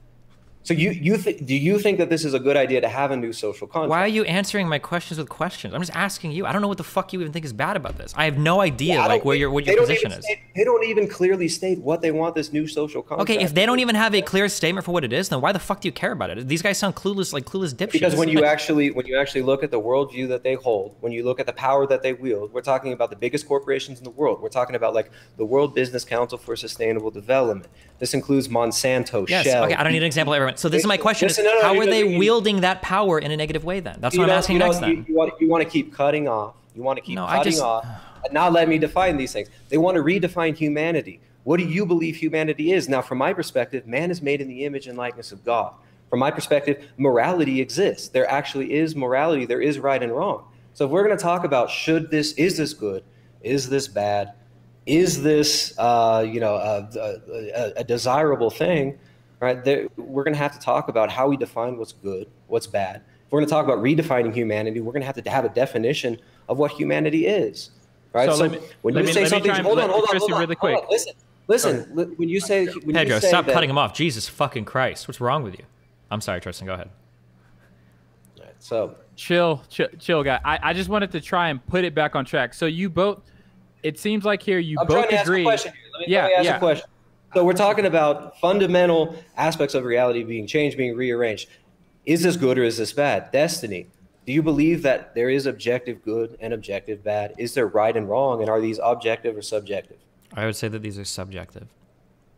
So right and wrong is subjective. Yes, I would be considered a moral anti-realist. is Yeah. Yeah, is truth objective or subjective?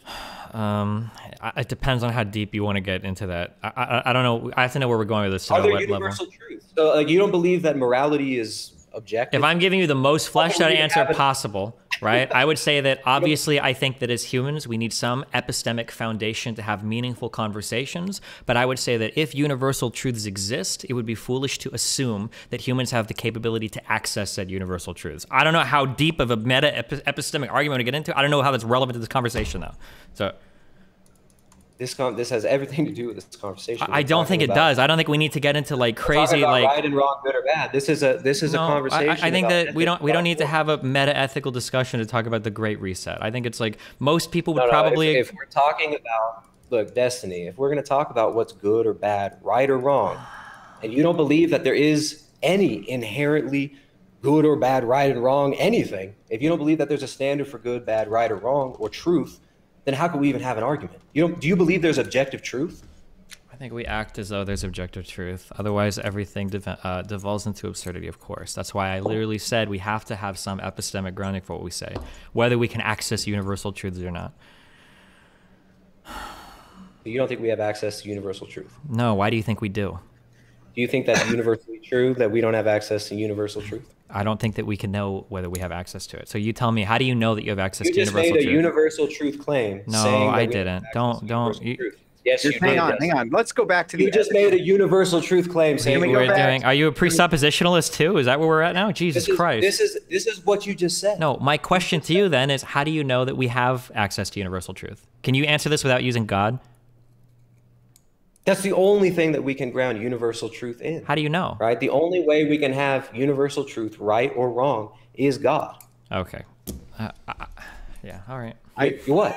So you you deny the existence of universals. Uh, you, you I, like, uni- are we gonna do presuppositionalism now? Like, I fuck. This is like an AIDS conversation. I'll bring in like Darth Dawkins, and you guys can go back it's and not- forth no, for twelve no, hours. It's not You- you presuppositionalism. He is actually bringing This up is- a, a good is a- argument. it's is- called examining the worldviews. I No, think- so I it's a, this is a presuppositionalist approach to epistemics because basically what he's saying is that the only way that you can know that you have access to this truth is because it's granted to you divinely through God, and the, through God granting you this ability to have access to truth, you know that you have access to it because God has granted it. It's ultimately circular, like everything is, but it's a presuppositionalist argument to set up like moral questions and epistemic questions. But it's like fuck, this is like a whole other philosophical like bullshit that we have to get into. I don't know why.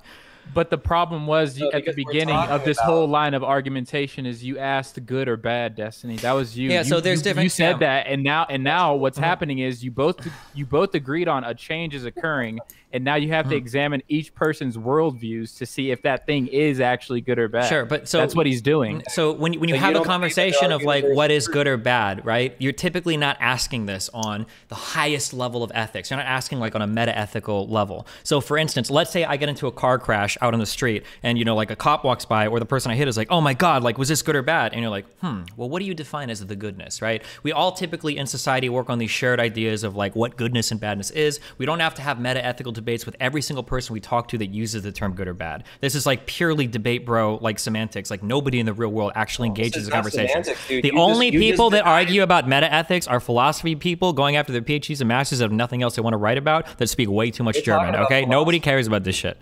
Destiny, we're talking about philosophy. I care about this. You're here to debate the morality of the Great Reset. No, And I'm not here to have a meta ethical debate. I was here having an applied Why- ethics why discussion. We're three levels. We're Why three levels beneath that. I'm not here to talk meta ethics with you. Okay, I'm here to have an applied ethic. We're talking a- about the actual policies as they are applied in the Great Reset to to see if we generally agree if they're good or bad.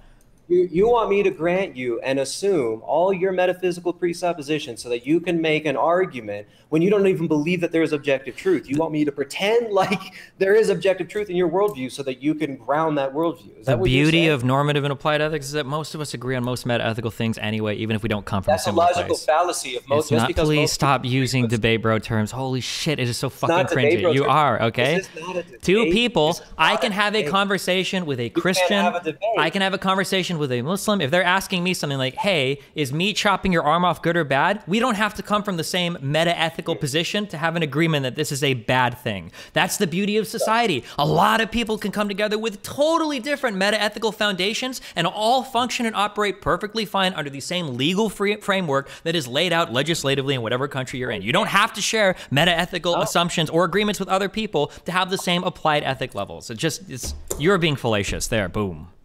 No, you, you, there's so many logical fallacies that you just use. And when I call out your logical fallacies, you interrupt and you scream, these are debate bro Nobody- tactics. Okay. Dude, this is how a debate works. If this was a formal debate, you lost it about 15 times over, dude. It- but it wasn't. There- It you was- can't it's an informal. It's an debate. informal. It's an informal debate that that has back and forth. I do understand your point. Don't get me wrong. But how can we move the conversation forward in your view? How can we you move the think that we conversation forward about ethics? How can we move the conversation forward about ethics? Well, about instead- not- this isn't a In- in the conversation not- about wait, wait, wait. ethics. Here, I'll help you. I'll help you do it right now. I'll help you both do it right now. Just listen. Just listen. I'll help you do it right now. Instead of calling out it as just a fallacy and just throwing that out there, and I and I totally get what you're saying, Tristan. Why not ask a question that probes that leads onto another question that ultimately leads to yes, that is why this is not right because that is what you just described a fallacy. He Don't doesn't just believe that right or wrong exists. This is the thing. How can we have an actual discussion if he doesn't even believe right or wrong exists, that good or bad are objectively real? This guy doesn't even believe that there are fundamental objective truths. He thinks that truth is just relative. He thinks Tristan, that he you're using my same jam. I, I'm on the same jam. I gotta say, So right? why would I let but him What you have to do, your job as a debater, is to breadcrumb him into the into the cave of knowledge. No, no, no. you- My job as a that. debater, my job as a debater is to end the debate when he admits defeat. This dude has done nothing but throw out logical fallacies. Okay, you know what? Okay, how about He this? I'll be- I'll be ca- I'll be Catholic. ground- he can't even ground. Okay. He can't even ground morality and I'm- ethics. I'm Catholic. I'm Catholic. I'm Catholic for this conversation. That's my meta ethical position. Okay. Well, okay. Where do you want to go from here? That's your see now. Now you're clearly debating in bad faith. I'm not debating Why about. would I went to Catholic school for 12 years. Okay, we studied the Catechism. We did all of our shit. I went to a Jesuit fucking all boys high school. Okay, I'll debate from a Catholic perspective. You, That's no, you are you argue just like a Jesuit. Um, so, anyways, this is this is the debate is actually over, Destiny. You lost the debate, dude. This is done. You're clearly not even debating in good faith. Like there's no there's no point in proceeding. You don't believe that objective right and wrong exists, yet you want to debate the ins and outs and the rights of wrong and wrongs of the Great Reset, which I objectively prove is real, is global in nature. Right. So if you want to debate someone else in the future about the Great Reset and play these stupid little games and uh, and pretend like you can actually ground ethics and morality in your worldview and make objective moral statements and objective moral claims while denying objective morality, then you can do that. But why would I allow you to continue this? Why would I allow you? You've lost the debate. It's over, dude. So, It's do you think that two people can only have a conversation about policy if they have the same meta ethical grounding? Uh, we're having a conversation about ethics and morality. You That's where did the you wait? Hold on. Did is you hear my question? Can you repeat my question to me? That's this is not how you debate, dude. You don't Okay, ask wait, somebody okay. to repeat for you. You want- because you, didn't want answer my question. This is insane, dude. You Holy want me to shit. Dude, I know a girl that you you two would be perfect for each other. Um, okay, so I'll ask again. Do you think that two people with a different meta ethical position can have a conversation about ethics or policies or We're having a conversation about ethics and policies.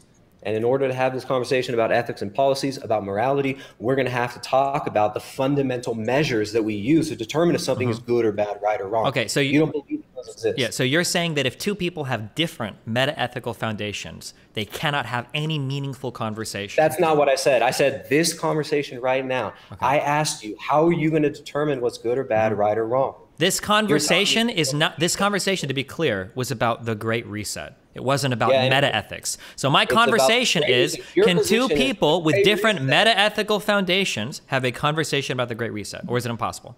Yeah, we're having a conversation. We're not having a conversation about the Great Reset. You've brought it back to meta ethics. So my question is, again, for We're the fourth time, we're not having a conversation. the Great Reset. No, we're not talking about the Great Reset. We're talking about meta ethics. Okay, that's what we're talking about right now. My question is, You're, you're all over the place, man. I don't know. It seems you keep like moving your jaw all around. It kind of seems like you might be on some of some sort of drugs. It's kind of strange. Um, Come on. I- You don't. You don't, it's getting you don't have to. It doesn't have I, to. go I feel there. like some drugs would help you a, a great deal. You should check out some some great antipsychotics that are available in the United Oh, okay, States. okay, something to okay, bridge you I back to agree. the to So- the real so world, again, maybe. Again, But um, again, you yeah. can again, you cannot you cannot ground your reality, Mm-hmm. your, your you cannot ground your morality rather in your worldview. You've admitted that Mm-hmm. you want to have a conversation about morality and ethics, but you don't believe that you morality should yeah. So in the future, real. you should say like. I don't want to debate you about the Great Reset because I don't even know my own shit. You should say I want to have debates about meta ethics. no, no, I- That's what you I- should say I- in the future. Just say that. Just say that. again, Just say you can- that, and then and that way, because then I'll skip this shit. Go, who the fuck wants to argue meta ethics? What a pointless fucking conversation, or or or epistemic truth or whatever. Like Jesus fuck. Like I have philosophy friends I could talk to about this shit. I'm gonna talk to fucking random bald dudes on the internet about fucking meta ethics. Like what a waste of time. Holy shit. Yeah, swearing a lot makes you right. Um, you know, I'm you- sorry. Is God judging me for that? My Can we bad. bad. get to the evidence of the Great Reset? No, we're not talking. about the I laid evidence out the evidence You the can't, we can't talk about that. I don't even believe in objective universal truth. How can I understand anything about the Great Reset? Right, Tristan? I've already laid out. I've already laid out the Right. facts. Can we get back to that? Can we get back to those facts? What do you What do you think about, for instance, what what uh, this guy Schwab said?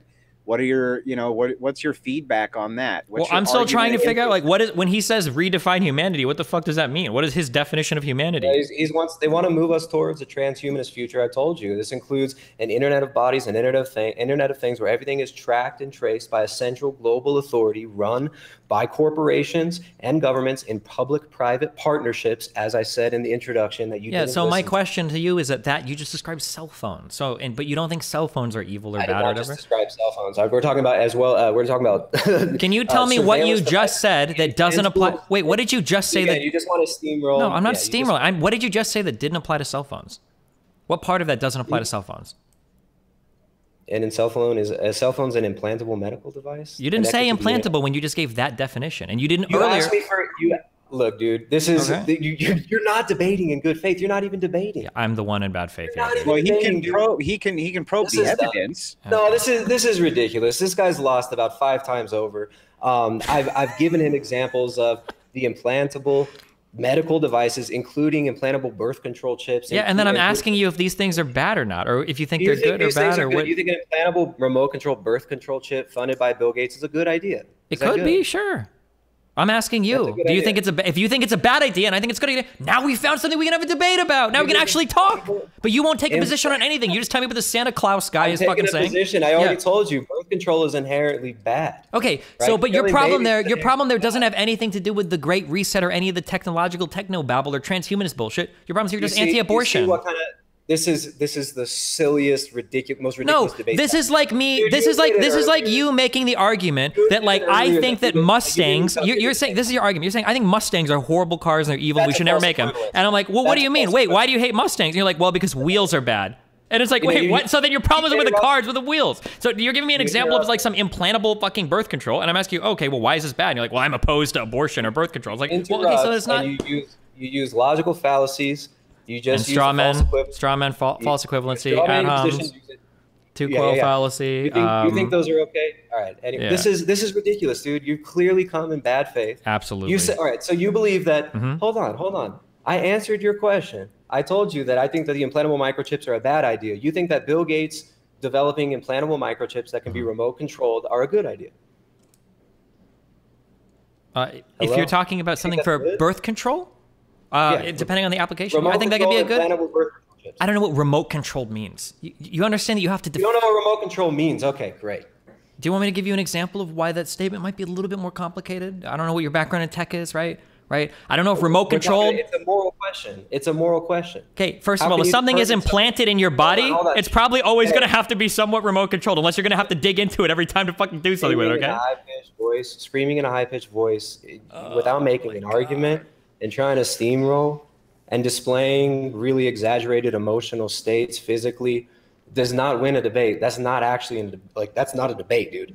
Um, so you think that implantable microchips to uh, remote control microchips for birth control could be a good idea? Yeah. Then the question becomes, all right, how do you determine what a good idea is and a bad idea? What's the standard for these objective moral claims that you're trying to make about the ethics behind some of these devices that you want to zoom in on and pretend like is the entire argument when it's just one little piece of what the I can answer that question without the extra rambling if you want, Yeah, right? yeah. How do you- How, do you, how do you determine what's good or bad, right or Yeah, wrong? so typically in a liberal society, we give people the autonomy to make decisions over their own bodies. As long as they're making these decisions over their bodies and it's not causing a bunch of harm to other people, I think generally those are okay ideas. So if somebody decides that their choice of reproductive control wants to be some implantable birth control thing, and I see no problems with having birth control, then I say like, okay, well that's probably an okay thing. Yeah. yeah, yeah. So how do you determine what's good or bad, right or wrong? That's now we're back. Now we're in, now we're back to meta ethics. Do you want me to tell you like? where any ethical conversation has to go, dude? You're, you don't. Okay, see, so to be clear, earlier when I asked you, can two people of different hold meta-ethical on, foundations have a conversation? You wouldn't answer. So hold now you're saying the answer is no, they can't. Okay. No, no, no. Hmm. Look, why do you get so uncomfortable when I ask you to actually I'm not uncomfortable. I'm just incredibly bored because I don't debate meta ethics. Okay, it's the Why most, not? You won't debate. You won't debate ethics. Why won't you debate ethics? I'll debate ethics. I just won't debate meta ethics. Do you want me to explain what that means? Why will you not debate meta ethics? I don't want to debate meta ethics because I don't believe that there can be any truthful statements made about meta ethics, and I think it's all just a You don't believe that there can be any truthful statements made at all. Okay, let me ask you a question. Okay, if you see somebody doing something that is bad How do you know that thing is bad? How do we determine what is right or wrong, Yes. good or bad? Yeah. In my worldview, we can actually uh, we can actually ground ethics, we can actually ground morality, Mm-hmm. right? What is good and what is bad are determined by God. Okay, right? so we're here's my question. Okay, that's like you answered. You don't want to let me answer. You won't let me answer. Jesus, dude, you, You don't actually so let me God, fuck, brevity, dude. Come on. Oh, brevity. Oh, bro, bro, you wanted to actually answer the question? You're not You want answering the question. You already answered. You told me that it's God. so I have a follow up. Oh, But now you're about to say a whole bunch of irrelevant oh. shit that isn't going to impact my next question. Oh, man. But go for it, dude. If you want to keep rambling, Come go on, ahead. come on. You're just rambling, dude. So yeah, I ask you a question, and when you answer, you're just rambling. You're just rambling, bro. Look, in my worldview, we can actually uh, ground Mm-hmm. and actually justify good, bad, right, wrong, Okay. Mm-hmm. uh, logic, reason. In your worldview, you have no justification for logic for reason. Okay, why are you talking about my role? This isn't part of your answer now. You're just rambling. You You've understand? actually, you've actually denied Okay. objective truth. So Tristan, Tristan, here's my question. morality. Tristan, I have just one question for you, okay? Let's say No, somebody see- else, let's say somebody comes up to you and they say murder is good. And then you say murder is bad. And then he says, "Well, how do you know murder is bad?" And you go, "Because God told me." And then you ask him, "Why do you think murder is good?" And he says, "Because God told me." How do you resolve that disagreement? Dude, this is the stupidest hypothetical. That's not an argument at all. Um, that's, dude. Can you just can you do that again? That was really Sure, fun. I'll repeat Can the question to you. Okay, I got Two it. Do that again. people try to resolve a moral quandary. Two people have a moral question, and they come to the answer in totally. They have two different answers for it, but they both say that they've received revelation through God. How do you resolve that disagreement and figure out who's right and who's wrong? This is the problem with grounding your meta ethics with divine revelation, and it's why presuppositionalism sucks. It's ultimately circular at a foundation that is you're inaccessible to external parties. Do you understand? I could tell you that God has revealed anything you to me, and I automatically win the argument. Do you understand the problem with that? Do you That's see why not this the is? idea. You're straw man Okay, the argument. I'm not. Str- then can you tell me? Then answer the question. Two people that both believe in God, two people that both believe in God, have a different answer to a moral question. How do you figure out which one is right and which one is wrong? Truth isn't given to us simply intellectually. You try to intellectualize truth. You try to intellectualize morality, right? Morality is something that is metaphysical. It is something that is transcendental. We require something that is transcendental to ground objective truth and objective morality. Just so you know, when you're done with this ramble, I'm gonna a- I'm gonna ask you the same question. So go ahead So, and ramble as much okay, as you want. so but go ahead. Dude, this is this is ridiculous. So you're not you're not actually letting me answer the questions. I'm You're letting you answer right now. Go answer. I'm just, but I'm going to tell you. I'm going to ask the same question because you're not answering because you don't have an answer to that. And this is the problem. Fundamentally, this is the problem with people like you that try to make. trying steamroll. You're Oh, just go ahead. No, go ahead. Again, you're just steamrolling. The debate was over 15 different times in this in this conversation. So I just want to draw everybody's attention to the fact that this is the final You just wanna question where Tristan, yeah, Tristan will be done. He's shut down now. This is where all presuppositionalists come because guess what, guys? Moral fact is unobservable. And when somebody tells you that they can know moral fact through an internal experience, and when by definition your internal experience is inaccessible, the content of your mind is inaccessible to any other party, then we can never verify those contents. So if two people have a disagreement over what they both perceive to be as divine revelation, idea. that disagreement can never be resolved, which is why meta ethics is a garbage fuck waste of time, especially with a presuppositionalist that thinks that God is giving them the fucking answers. There's been a number of terrorists and cult leaders and people that have raped and murdered and shot and whatever people who all say they got divine revelation from God, and every single one of them was just as right as the other person. So I will repeat the question once more to you, Tristan.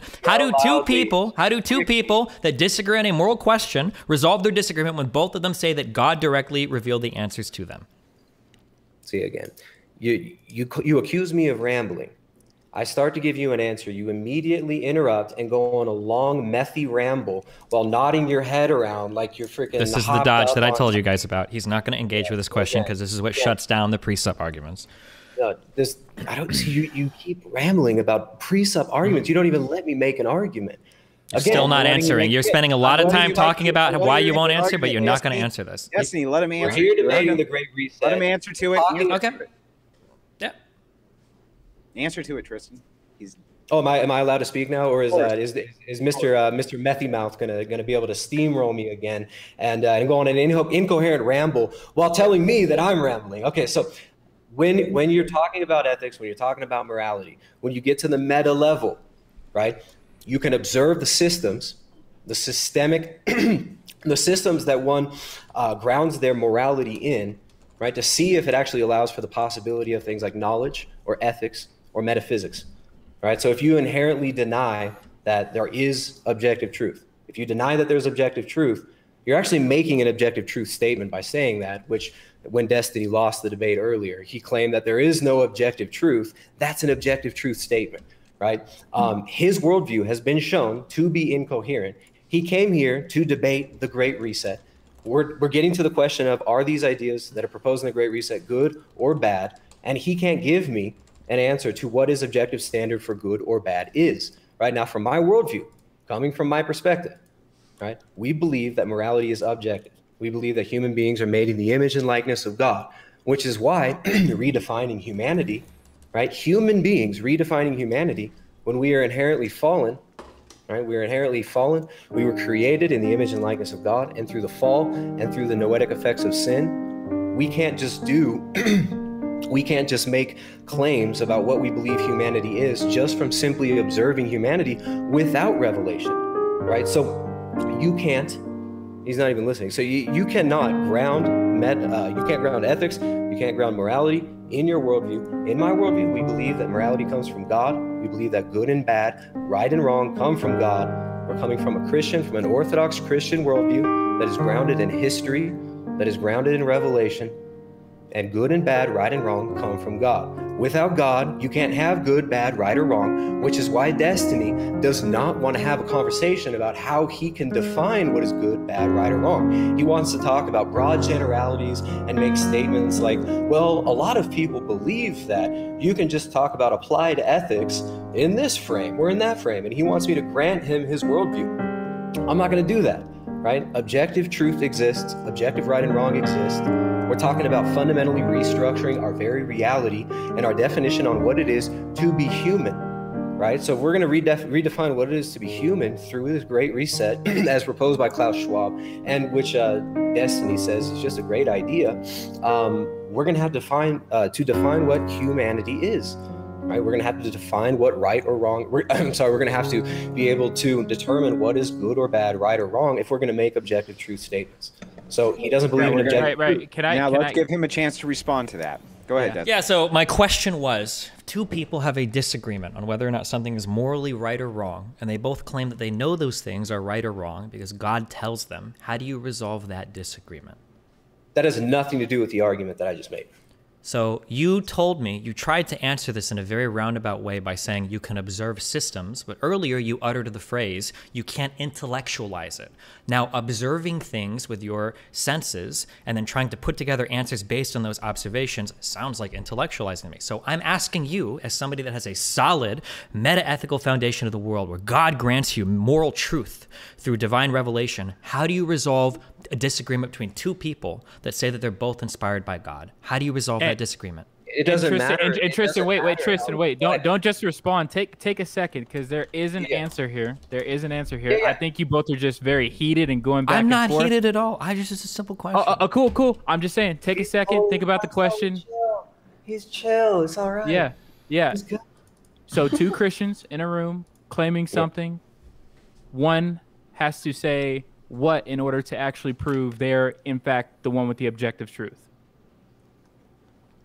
Yeah, see, it doesn't ultimately matter what a single man says is true or is false. What matters is what is objectively true. Truth is revealed by God. So we're given truth in Holy Tradition, in the Holy Scriptures, right? And from the Orthodox perspective, we have the Holy Scriptures and we have Holy Tradition, we have divine revelation that is given to man's heart, right? So how can two people argue and determine what is true within that framework? It doesn't matter what two people will argue in a hypothetical situation of two people in the street trying to say, this is bad, this is good, this is right, this is wrong. What matters is what is objectively true. And that's not determined by us. What do you think about that, Pedro?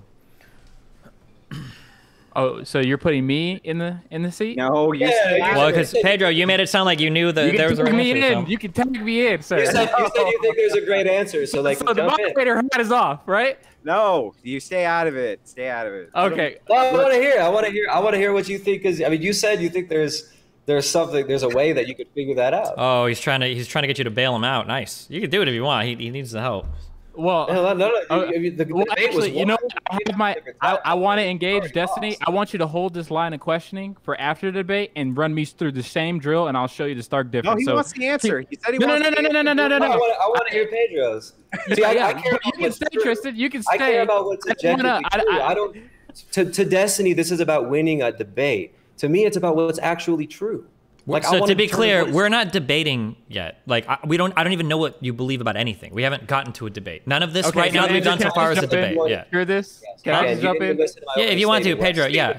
Yeah, Pedro, jump Jesus in. Christ, holy Okay, so fuck. Tri- Tristan, Okay. just just take a back seat. All right, Destiny. So what I would do if I was in face to face with another Christian and they asked Oh no no no no! Not with another Christian. That's easy because you can appeal Okay, to like my yeah. cool. So let's say you're Yeah. like with a Muslim, right? You're trying to figure out like I believe in the Hadiths and blah blah blah, and you're like, okay, well I believe in Scripture. How do you resolve these different divine revelations when two people Oh, feel would- like they've been we- we divinely take inspired? Uh-huh. We would take them to the tenacity of the scriptures.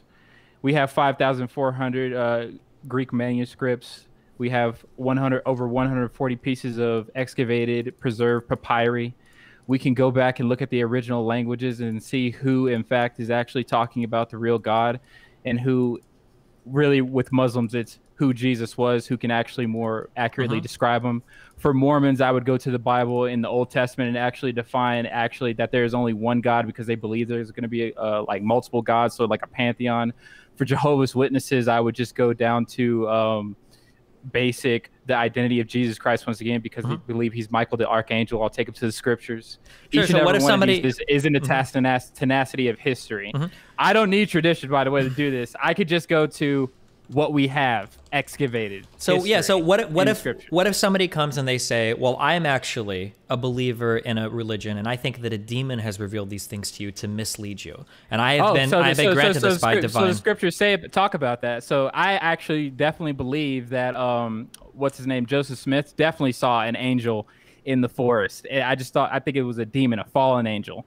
So what So- happens mhm. there is whenever you come into contact with an angelic being who gives you another gospel, the scriptures automatically say this is a demon before you. It's very yeah, but easy. what if somebody says that those the scripture itself, the original scripture, was Right. right? And by the way, the scriptures of which there, there were more of, right? There are multiple books that don't make the current scripture, right? That have been gone through councils um, that have been voted on the past for whether or not they're included or not, right? There are gospels that show Jesus with Mary Magdalene. And there's um, uh, you know the different councils that have determined which books are in or out. How, I know what you're talking about, the Mm-hmm. longer ending and the short ending of Mark, all this good stuff. This has all been fleshed out within Christian debates. So, but, uh, but what do you already. say if So somebody? What, what oh yeah, go, have yeah, to go. do is actually look at the original languages. Goes back to the Greek Septuagint and the Hebrew languages, and we can find out who's actually telling the truth.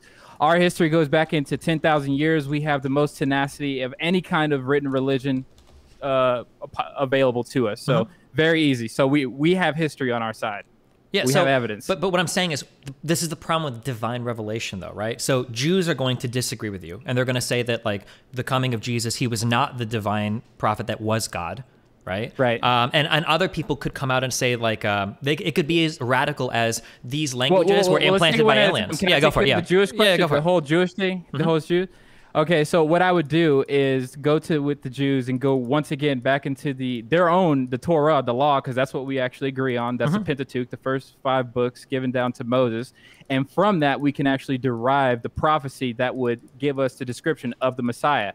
And then if I go just into the New Testament, and then I start referencing all those passages that describe Jesus. Oh, look, we have Jesus who matches perfectly what happened in the Old Testament that was prophesied. This is the Messiah, Jewish people. You're waiting for. If I had to talk to the Jewish people right now, I would say you're waiting on something that's already happened. It was Jesus Christ. What would you do if Keep going, keep going, keep Yeah, going. Sure. What would you do if another Messiah came and somebody claimed that this was the new Messiah? How would you resolve disagreements over whether it was or wasn't? I would do exactly what uh, Paul, uh, the Apostle Paul had an interaction with a, a people group called the Bereans. The Bereans took him to the scriptures and they said, "Hey, we need to check all this." And Paul, the apostle, who is one of the one of the people carried along by the Holy Spirit of God, he pretty much said, uh, "Good on you. You did right by testing me by the scriptures." So every every single time, what we do is go back to what the objective truth, which is in the scriptures, not my tradition, because traditions change. And not to say that I don't have any traditions, I do have traditions. I'm a fallible man, but that's but- where but we go. tradition- but Wait, no, no, no, no. Tristan, Tristan, Tristan. So- just let me a- get through this line. I, Yeah, so- am trying to get you to the other end of here, hmm. brother. Because what you, what's gonna happen here is I'm gonna hand, I'm gonna hand you back the cake. I'm gonna hand you back the cake, and we're Well, gonna there's a go. hypo- I'm gonna hypothetical say- question. Hypothetical- So okay, so Okay, okay, so let's okay. between two Christians. yeah. So I'm gonna step out, then. I'm gonna step out. Yeah, yeah, yeah. So, anyways, uh, if we're talking about ethics, we're talking about morality. We're talking about how do we determine what's good, bad, right, or wrong, right? The debate is about the Great Reset. What is the Great Reset? Is it good? Is it bad? Is it right? Is it wrong? Right. So, we're, you wanted to zoom in on the microchips thing. You wanted to zoom in on the uh, what the Internet of Things, Internet of Bodies, right? Determining if these are good, bad, right, or wrong. Where do you want to go with this now? I mean, you don't want to talk about meta ethics because you can't ground your ethics in your morality. You don't believe they're objective, right? Where do you want to go with this now, Destiny? I, I, I it sounds like an ad but I think you're legitimately psychotic. I, I don't know what to say. Um, anytime Oh, I try to push you on a particular talking about the thing where Reset. I can't finish debate- answering the question, What you is just the, asked another what is the topic of the debate, dude? Keep you want to debate So the the topic was Reset or not? supposed to be about the Great Reset. So I was trying to ask Yeah, you we about got into ethics. We got into we got into morals and ethics. How do you determine what's good, bad, right, or wrong? You said you don't believe that good, bad, right, and wrong objectively exist. Then you call me psychotic. So I mean that's I mean, your ad hominems. Your uh, I guess that's your argument, or that I'm psychotic. But do you want to debate the Great Reset? Do you want to debate the morality of the Great Reset? What do you even want to debate? I wanted to go into parts of the Great Reset, like actual examples of things that you think are bad. Yeah. That's what I wanted to talk about. But then you mm-hmm. wanted to talk about meta ethics. So I, I don't know what we're because when we're going to talk about what's good, bad, mm-hmm. right, or wrong, that naturally is where it goes. So then stop Right, saying this is a conversation about the Great Reset. This is a conversation about meta ethics. Is it? Do you want it to be that? I You said you won't go there. You said you won't do that. No, I said I want to talk about the Great Reset. That's what I came here to talk about. Okay. Okay. So, anyways, is there any? Or do you have any more questions about my initial statement, my opening statement, which was comprehensive, which proved the nature Yeah, of the? do you think of the Great Reset is good or bad? Yeah, I think the Great Reset is inherently undesirable. Right. I don't even think you should desire this, even if you're coming from you know an oh. atheist materialist standpoint. It's not going to benefit Why? your. why I, I didn't. I'm not asking you if. I desire it, dude. Again, you Oh don't you don't let me finish any statements. You consistently interrupt. You oh. steamroll. Okay. You use ad hominem attacks. you make that your argument. fallacies. Yeah. You, you think Straw that you can use that false equivocation. Well, do well. Do you have do you have uh, questions about his evidence? That's that's where I. That, I well, yeah, like but we're never gonna get to that. Yeah, th- I just, I just, I want to know about some of these horrible Great Reset things to see if he thinks they're good or bad or right or wrong or what they are. That's, but Right. So I You- see. I see what, what's what's it's going so on. disingenuous. It's so disingenuous the way you go about this. It's ridiculous, man. I've so the problem is that like so oh, what Tristan has done so what I laid out at the very beginning of this debate is actually in like my 30 second statement. So the problem is is that people build these grand narratives around this collection of facts, but when you start to analyze these facts one after another, they just fall over like dominoes and then the entire haven't analyzed conspiracy any of the facts. I You've know because you none. won't let me because you want to talk about fucking meta ethics. Okay? oh man. So again, you straw man the position. You call it a conspiracy theory. Straw man, right. Look, conspiracy. you wanted to talk about remote controlled microchip contraception. You want to talk about that? yeah, and I asked you if you thought this was a good or bad thing, and you said, "Well, and I, I, think." told you it's objectively bad. You say yeah, it's but good. it's not bad because of the Great Reset or because of technology. You think it's bad because you disagree with birth control. Do you understand how that's not relevant to this conversation? Absolutely, just like I disagree with redefining humanity. What right, to with what? What do you disagree to redefining humanity is what? You won't let me finish the sentence. Just like I disagree with the idea of fundamentally redefining humanity because I believe that it's not man's place to define humanity. Who Right? It's not your place to define humanity. I don't care if you believe you're a stakeholder. I don't care if you think that sitting in your coom pod and eating freaking bugs all day is going to make you a stakeholder. That using your social credits to purchase free outside time, uh, you know, in the behaviorist control grid that the Great Reset wants to implement. If you think that's a good thing, how does that make it actually good? Right? Like, I mean, you, you think that uh, you think that contraception is good. I think that it's bad. Right? Like we can just sit here and compare, oh, I think this is good or I think this is bad. And if it all comes down to an appeal to hedonism, right? If it's all just, oh, well, this makes me feel good, so I think it's good, that's ridiculous.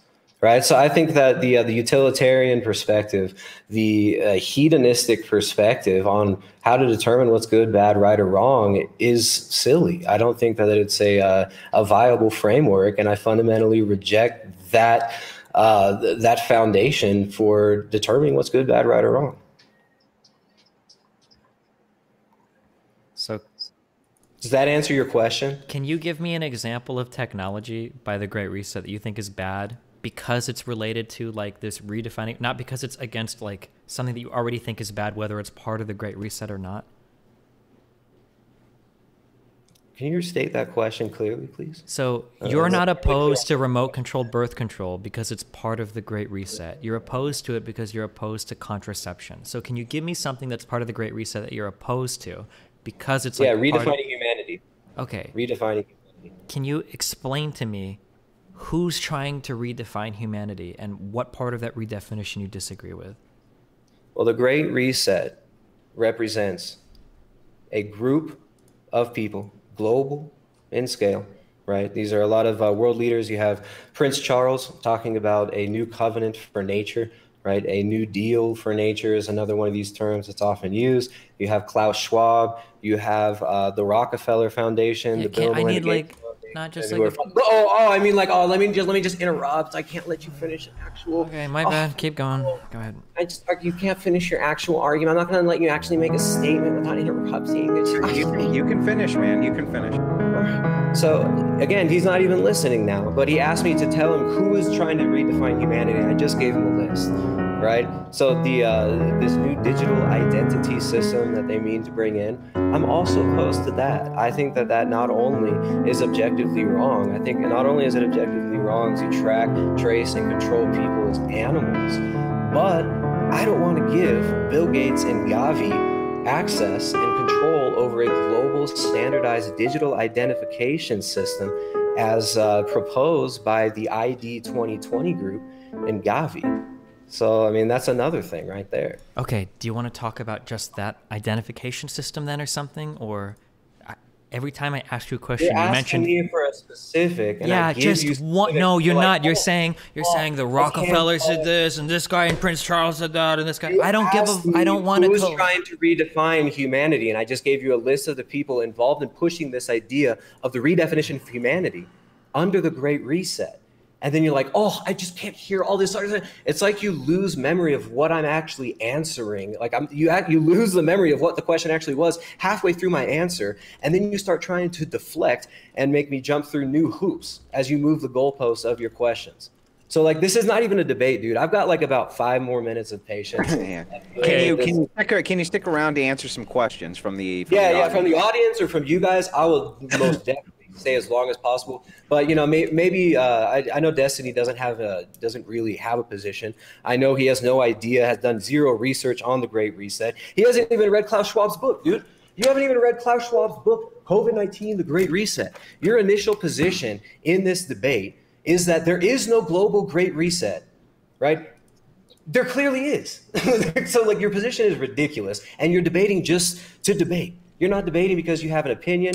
Because okay, you can I ask you a different question? Do you think that um, not, you don't even care. do you You don't even care. do you think that do you think evolution is like a thing, or do you think that's not a thing? Do you think that's all fake? this has nothing to do. with I'm just the, uh, curious because it's kind of part of the Great Reset, right? First we make up evolution. evolution is a theory. I think evolution is a theory, and one of the Uh-huh. foundational theories of the Great Reset.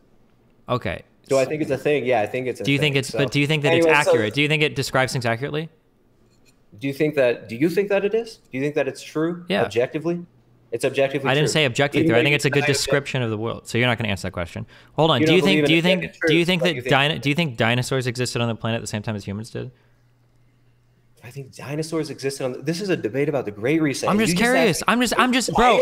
I lost the debate. I'm just trying to Bro, see what else. I'm just curious what else you got. go- Oh wait, bro. Let's go back to talking about Game of Thrones, bro. Like, let's just slow down. Talk about like your favorite. Like, what's your favorite movie, bro? I'm What's your- just do you like curious. Do you think that? Do you think that dinosaurs and humans were on the planet at the same Oh, time? I'm just asking. Bro, do you, do you think that like that like dinosaurs and humans were? Do you think people Uh-huh. hunted dinosaurs? That'd be so. I'm cool, just dude. curious. Do you think that humans and dinosaurs were on the planet at the same time?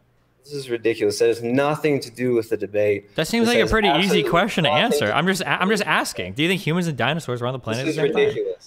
Ridiculous. So is one of, ridiculous. the, one of the questions. You clearly don't want. You clearly don't uh, want. to one of the questions that I have. You don't want is- to debate. This is is for, is for Destiny, and the question states: Destiny, can you clearly define what you think the Great Reset is? Uh, I don't think we need we need Tristan to. We got he, I think he fleshed it out pretty good. Yeah, I feel But like everybody has different. sense. So my my.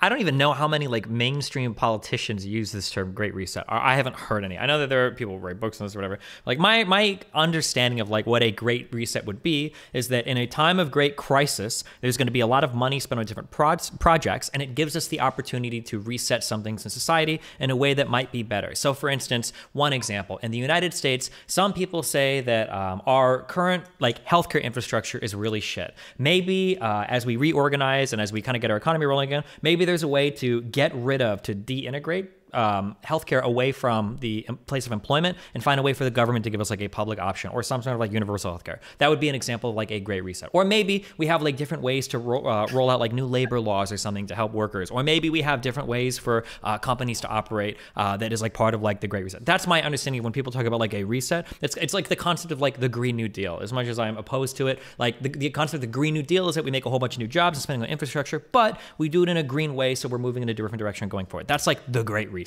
It's just reorganizing things in times of great crises, namely the um, co- coronavirus crisis. Tristan, did this debate go like you thought it would go? Uh, I, I, I, I really had no idea how this guy would debate. I thought he actually came to debate in good faith. I mean, he conceded in the very beginning, I'm not prepared for this. I'm out of my depth. I don't know anything about the Great Reset. Uh, I mean, he, he steamrolled the whole time. He obsessed, he incessantly used uh, uh, logical fallacies. And when I brought up his logical fallacies, he goes, debate bro tactics. I don't even know what that means. Debate bro tactics. I mean, this guy has been the sneakiest, snakiest debater that I've ever seen. Um, but you know, I mean, it is what it is. Uh, he, he doesn't like letting me actually get my points across. As soon as I start making a point and explaining my position, he derails and goes off the rails with some new points and tries to uh, you know shift the goalposts. Um, it, has been ridiculous. I had no idea how this would go. Um, obviously, I prepared for this. Uh, my opening statement was comprehensive. Anybody who wants to understand my position on this and what the Great Reset is, listen again to the beginning of this so called debate, which wasn't actually a debate, um, with my opponent, who I thought would actually prepare. Uh, but he conceded the debate about 10 times. Uh, doesn't believe that morality is objectively real, but is going to uh, uh, argue for these objective moral positions. Said that truth is not objectively real. There is no objective truth, right? Which is an objective truth claim, which refutes his own position. The dude can't even, he doesn't even believe in truth. So, like, it's been bad faith the whole time from him. This is sad, but it is what it is. Wait, I'm You- actually genuinely talk- curious. Who do you think has talked more in this conversation? Tristan.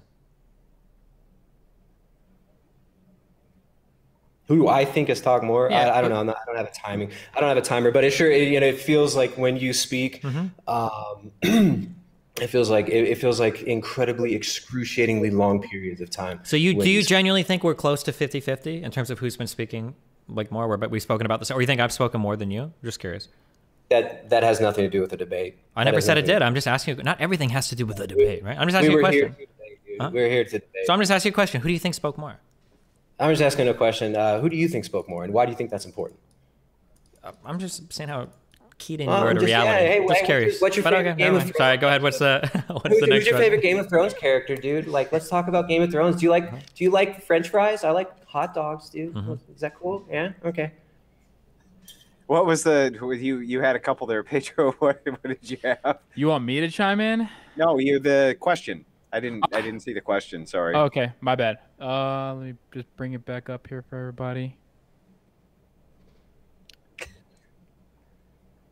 Okay, so we actually had a, a few super chats come in, and because and I'll apologize right now because of me picking a red font, they just came in all blurred. So I'm just gonna read it here. Uh, for three dollars, Dan Zammit, uh, he says, Destiny. We see global organizations and people in power saying the world is overpopulated, but in reality, the birth rates are steadily dropping beyond replacement rates. Do you find this concerning? I, I don't know who's saying overpopulated. My understanding is that um, So I'm 32 now. In the early 2000s and in the late 90s, we talked about overpopulation a lot. It was like a huge thing that the world was going to be crowded. But my understanding is that as people have seen birth rates slope off all over the world, now the mainstream thought is that I think it's the 9 billionth person will never be born. I, th- I think it's 9 billion that will never reach that number because as countries industrialize, that might be higher. It might maybe 10 or 11 billion. But as countries industrialize, birth rates slope off. I don't think anybody's saying that we're like overpopulated. Um, and if they are saying overpopulated, my guess is going to be that if you dig into those statements, it's more like we're causing environmental harm in certain areas because of consumption. It's not this idea that we're overpopulated and we need to depopulate the planet. All gotcha. right. And our next super chat, I'm just gonna. Okay, can I ask Destiny a question? Oh yeah, you get to interact. Okay. Go for it. Yeah. Uh, so you don't think that overpopulation is a good thing? I mean, people like Bill Gates, who are proposing this global identification system, are also developing remote control microchip implantable technologies for birth control, right? People who is that what's what's funny about that? I mean, I've proven that's you, you, you, pretended to ask me a question and you used it to monologue again. You're like a soliloquy machine. It was just funny to me. Sorry, go ahead. Don't worry about me laughing. So you, yeah, oh yeah, yeah, yeah. Uh-huh. Just okay. Just, okay. Um, so Bill Gates openly says we need to depopulate. There are too many people. Develops contraceptive implant microchips that can be remote controlled, and is heavily invested in this ID 2020 global identification infrastructure. Do you think that's a good idea to uh, to all be put on a global identification system by this ID 2020 group that's manned by like the Bill and Melinda Gates Foundation through Gavi, the Rockefeller Foundation, big corporations like Microsoft. Do you think that's a good idea? Do you think that's a uh, something you would sign on to? Am I going to be able to answer this without him interrupting? Yes, sir. Yes. Okay, so isn't it funny how he he, yeah, he yeah, actually don't, don't, let, him, me let him let him answer very thing that he spent yeah, this yeah, whole but, but let him doing. let him answer. let him let him answer. Exactly what you do. Hang on, let him answer. Go ahead. okay. Go ahead, Destiny. You, gotcha. you can answer. So it's very hard for me to answer a question when you ask me something like, Are you okay or not okay with this incredibly complicated technology that exists on a very macro level? I don't have That's a way. That's what this debate of, is about. Let him finish. I don't have a way to answer whether or not a global ID system is good or bad. A global ID system might be something like passports or a global ID system might be something like you are being injected with microchips while you sleep so that the government can keep tabs on you. This is why I wanted to get into more specific applications of these technologies to talk about whether or not um, whether or not these things are good or bad, because I can't look at a broad meta or, or a broad like uh, macro level description of some technology and answer if it's good or bad. I need to know the application of it. I need to know something more specific about what it is. Okay, so all right. Oh, you're gonna interact. You yeah, oh. you can interact with it. I'm sorry. Go ahead. Uh, yeah, thank you very much. Um, so the you mentioned like passports. The ID 2020 group, funded by Bill Gates, Rockefeller Foundation, uh, they actually are pro- are promoting global vaccine passports. You think that's a good idea? A global vaccine passport. Um, Standardized internationally. Yeah. Well, my understanding is that passports are already standardized internationally. Um, whether or not a global vaccine passport is good or bad, that's a really rough one. The thing is, is that if I think it's probably okay. Countries should probably have a right to determine who they let in and out of their country, unless you would attack like a country's sovereignty and the ability to decide how they control their borders. So, I mean, this is happening right now, the global vaccine passport rollout. I mean, this is not, this isn't like hypothetical. I mean, this is being rolled out now under the excuse of COVID 19. And this is something that was planned long before that. ID 2020 was promoting these ideas back in like 2018 at least. Um, so, I mean, yeah, I mean, this is something that's not just in response to COVID, it's something that was desired even before that.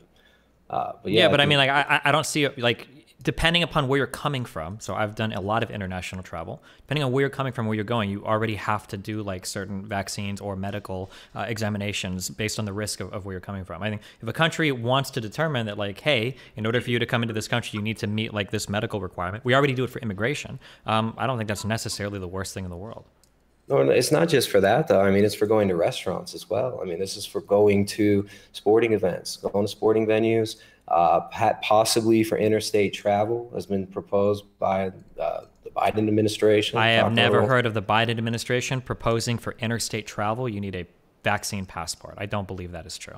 They're talking about that as a possibility of something that may be needed in response to this. That's I mean, this impossible. That doesn't work in the United States. We don't. Yes, we don't check. The, I think. I think it's ridiculous too. I don't think it. No, no, I'm not saying it's ridiculous. we don't have the infrastructure to check. We don't have any type of passport in the U.S. like that. That, that yeah. doesn't. Yeah, that's but not a federal thing. Is, this is what the 4th mm-hmm. industrial revolution enables. Is okay, this you just, you walked out of all of that because you just made a bunch of shit up. But okay.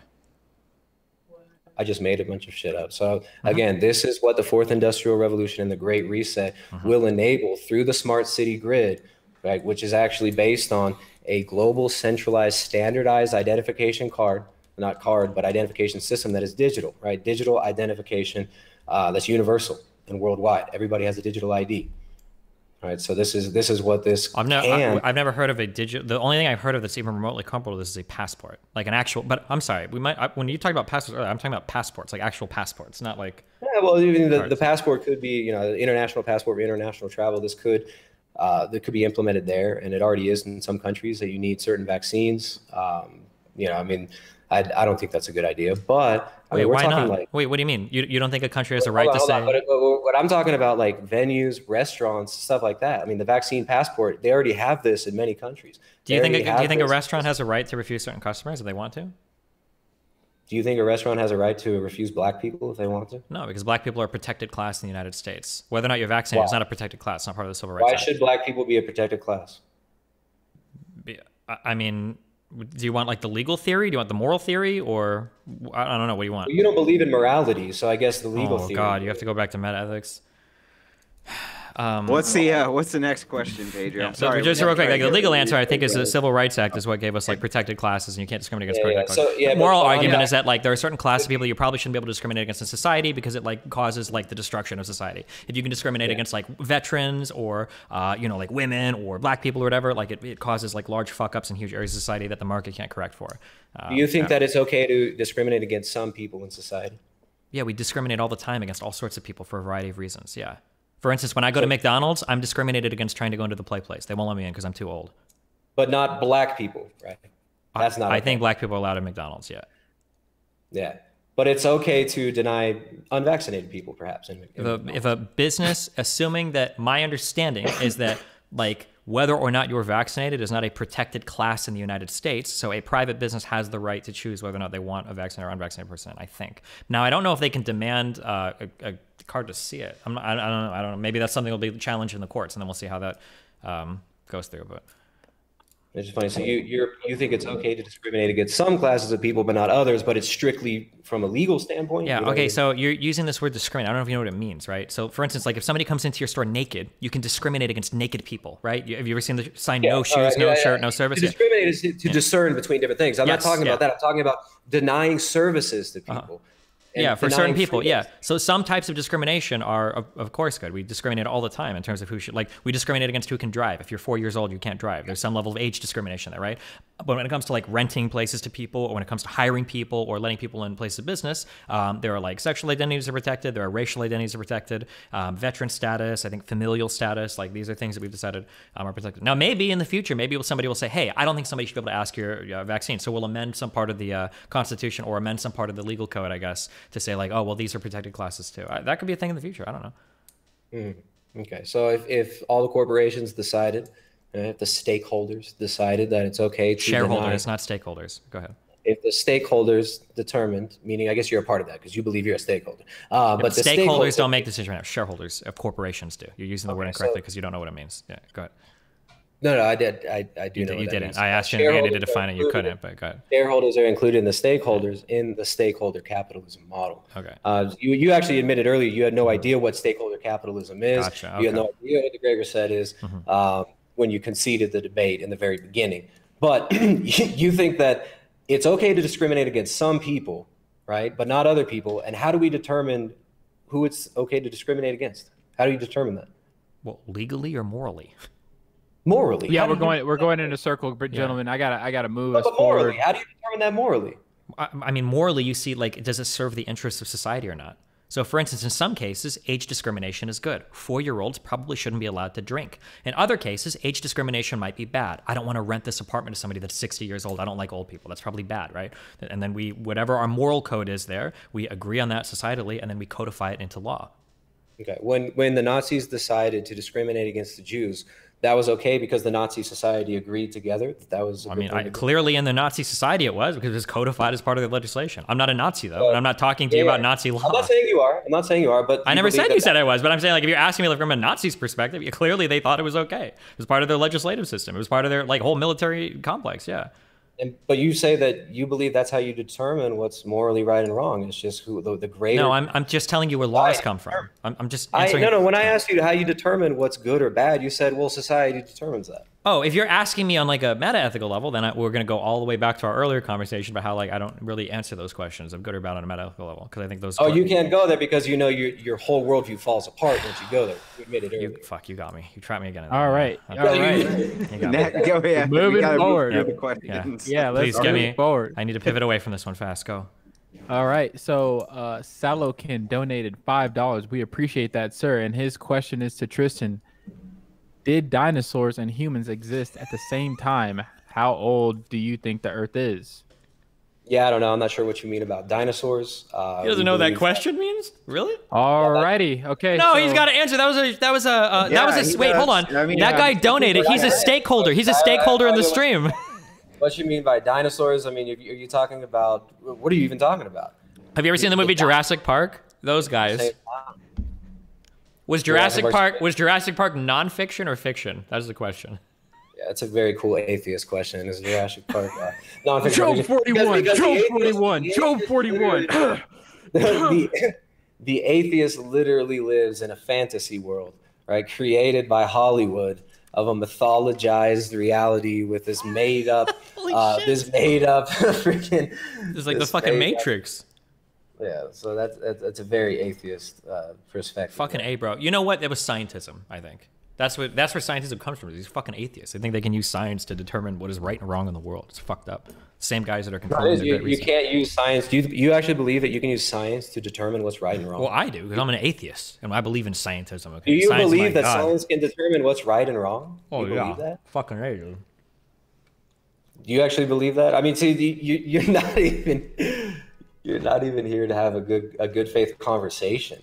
That's like what a what a strange way of. You know who which prophet I believe in? I believe in the prophet of Sam Harris. He's my god. Okay. Well, that's a false god. You should come to the real living Jesus Christ who died that's, for your sins.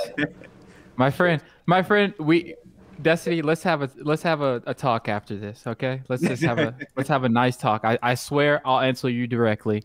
Uh we have a donation from OrthoDog for five dollars to Destiny. Are you willing to have a debate or discussion with Jay Dyer about the subject of the Great Reset? Wait, fuck. Was that addressed to me? Yeah. Uh, yeah, I'll talk to literally any other person besides this guy about the Great Reset. Sure. Because right. the conversation is guaranteed to, to go better. Crucible. yeah. yeah. All right, and then uh, we have our next one to Tristan from Good Grief, who donated five dollars. We very much appreciate that, sir. Tristan, is this God in the room with you right now? Yeah, we believe that God is everywhere, filling all things. Right. So in the in the creed, we affirm that uh, that God actually upholds everything. I mean, do you do you believe that science is in the room with you right now? He's asking you, Pedro or the super chatter? Oh, oh, me? The super me? chatter. No, no, the super chatter. The super chatter. Do okay. you believe yeah, tag me in, sir, at any moment. Okay, so uh, let's. Uh, we're gonna. I think we need to. If Destiny wants to, we can have a, a post discussion about this. But uh, I'll put up the next one. It comes from Peacecraft, who donated Wait, three dollars. Can I ask one question real quick about that? On in terms Go of the for God it, sir.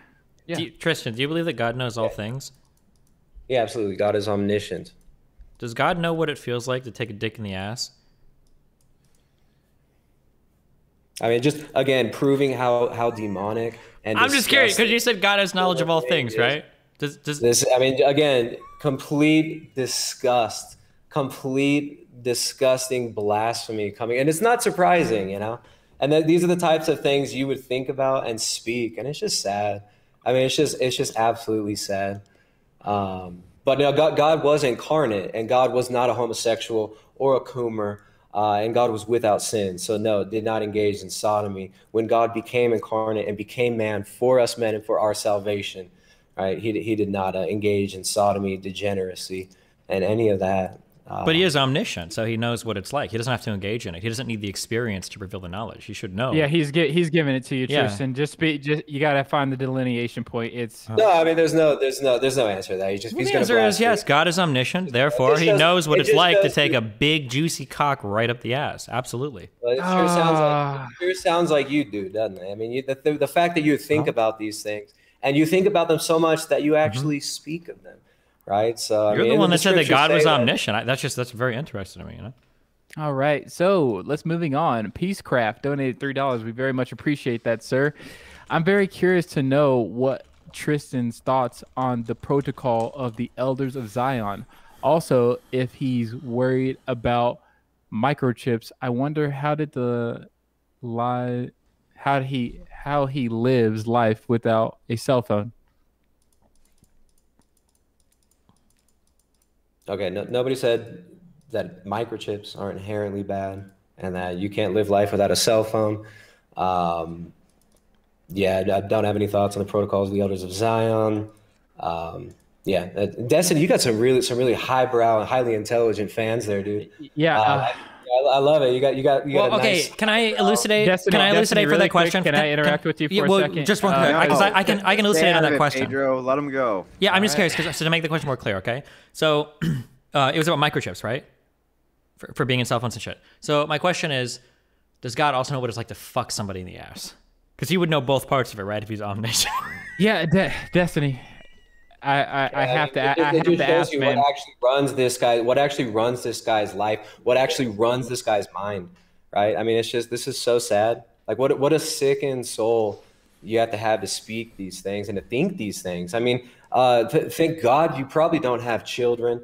Um, and and you know, I mean, it, it is what it is, man. I mean, this is sad. Like the fact that you would say that. Um, you know, it is what it is, man. I ain't mad though. I you feel- know, may, I'm may ashamed. God have I'm mercy on sorry. us I shouldn't have. I May went God have far. mercy on us all for even sitting here and listening to this to this insanity. Right, and of course, you know you you- you've shown yourself to be completely disingenuous, Mm-hmm. to be unable to actually have an actual debate or conversation throughout this whole this whole chat. So, um, what a great way to finish it! What a, what a winner, man! What a winner! Okay, I'm Truly- I, I am sorry. It was it was a degenerate question. I was possessed by a demon. My bad. man. Okay. What else? What's What the else next question? Pedro? Uh, we got another five bucks from our friend Salakin. Sorry we missed it the first time, but uh, he wanted to say sorry. I didn't get my second question answered to Tristan. How old is the Earth? How old do you think the Earth is, Tristan? Uh, it doesn't matter what I think. What matters is what is true. We believe that the Earth is created. I'm not sure the uh, the exact age of the Earth. How many? You want that in days or hours? How Just, I think I think in like According to thousands of years would be how old is good. the Earth? According to science, how old is the Earth, and how do we know that? Damn, he's just dodging all the questions, man. You want me to tell you how old the Earth is? You want me to tell you how God created the Earth? You want me Well, to the question you- was how old the Earth was, so I imagine that's probably what they wanted. How old is the Earth, Destiny? I don't know how old the Earth is. I answered the question. How old My is the- understanding is the Earth is around like four and a half billion years old. How do you know that? Uh, there's a whole bunch of like uh, I think like radio isometric techniques that they use to study like carbon decay and shit to try to make estimates on. And then there's a, How do you know that carbon dating is accurate? I don't know any of the Bible is accurate. Do you speak Hebrew? How do you know that carbon yeah, I didn't think accurate? so. So all right, wh- what's next? Alrighty, so we have a Can't answer the question again. Again, can't answer the question. You can't even read scripture in its original writing. So how do you you're relying on man who is faulty by definition, right? To, to translate base, these we don't base our interpretation on. Uh, we're, I'm Orthodox, coming from the Orthodox perspective. Yeah. So we don't believe in sola scriptura. But again, like, Do you do you have a book? Do you have a holy book that you read?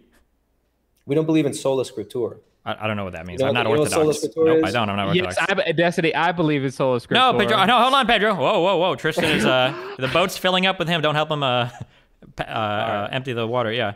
No, we, we don't believe in the Uh-huh. doctrine of sola scriptura, which is the Protestant assumption that man Mm-hmm. uh, gets to read the Bible and interpret the Bible. Man becomes this infallible interpreter of the Holy Scriptures. Mm-hmm. We believe that that's inherently fallible, uh, that man is not an infallible interpreter of Scripture. and we don't actually hold to sola scriptura, although we do believe the scriptures. Uh, the, the Orthodox Church is the church that gave us the scriptures, and those scriptures are a part of holy tradition. How do you know they weren't mistranslated? Uh, because of holy tradition. Damn, that's a pretty powerful answer. And we have manuscripts going all the way back Uh-huh. uh, to the early church. well, you don't because you can't read those, so you don't know about that. No, we do. I mean, I'm a member of the body of Christ. Yeah, but you don't. You can't read any of that scripture, so you have no fucking idea, right? No, I, I can read that. and- literally, those scriptures could talk about Jesus Christ deep throating and getting spit roasted all day long, and you'd have no idea. You can't read that I mean, language, right? this is just the most, the you most, can't. You have the no idea.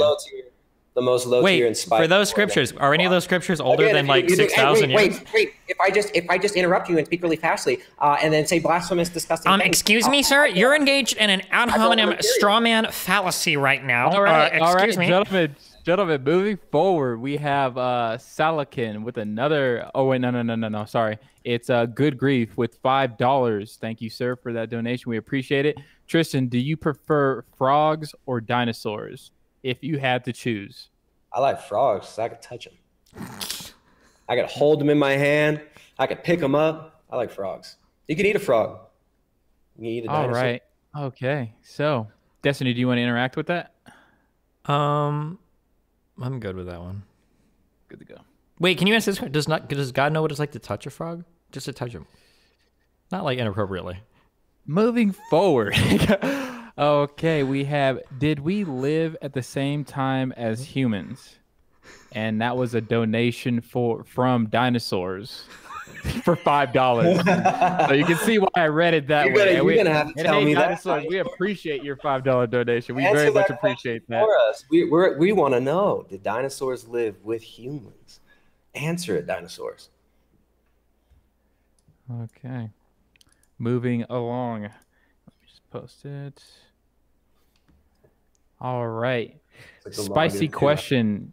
Uh, so if it's against TOS, don't bother. To both Destiny and Tristan, though more to later, did around six million. Oh, no. crud. No. Ah, Off. yep, off. Not dealing with that shit. Ah, gosh, why, Sounds like a guys? Why? Why?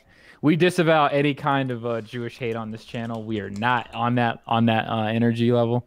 Um, Yeah, but yeah, uh, but but hatred of God and blasphemy, that's okay here, I guess. But when Destiny's gonna say disgusting, blasphemous things, no no pushback. That's fine.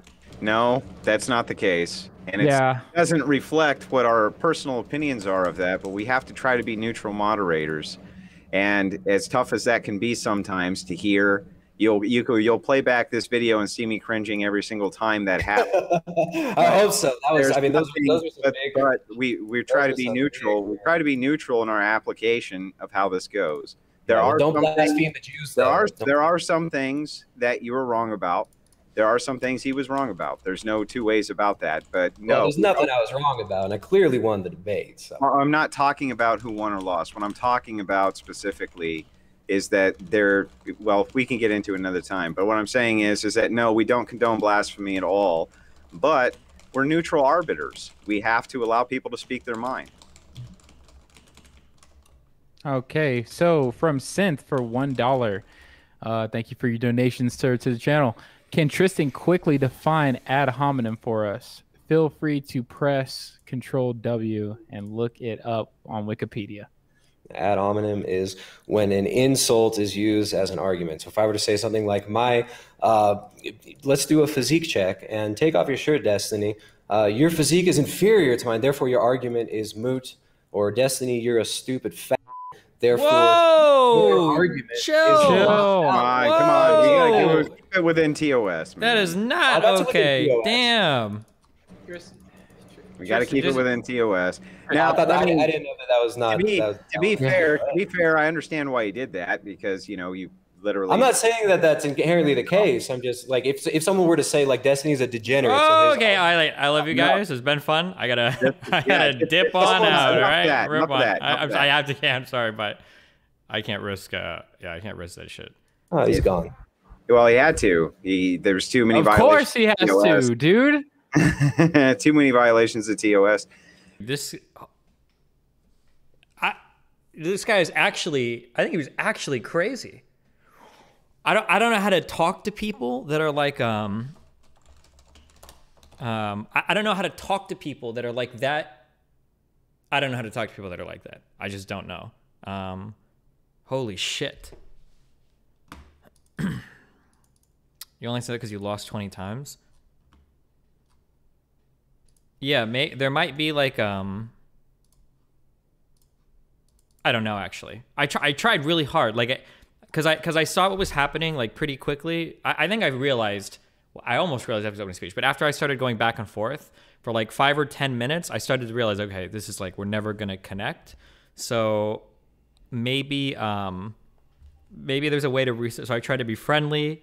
I tried to do um I tried to say like, "Hey, we're not having a productive conversation," um, but it didn't seem like there was anything I could do to actually have a conversation. I feel like I tried. I like I'm just I, I tried to I gave like a macro explanation of like this is what I'm doing, this is how the conversation. I'm trying to figure out like blah blah blah. Like that's literally all I was trying to do. Um, but it seemed like there was no way. And then he kept accusing me of all the things you do. You're just steamrolling, you're rambling.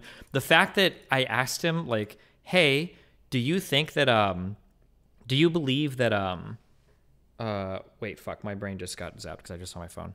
Um Oh, I asked him, do you think that we've spoken for about is it spoke or spoken? Is spoken a word? Have we spoke for the same amount of time?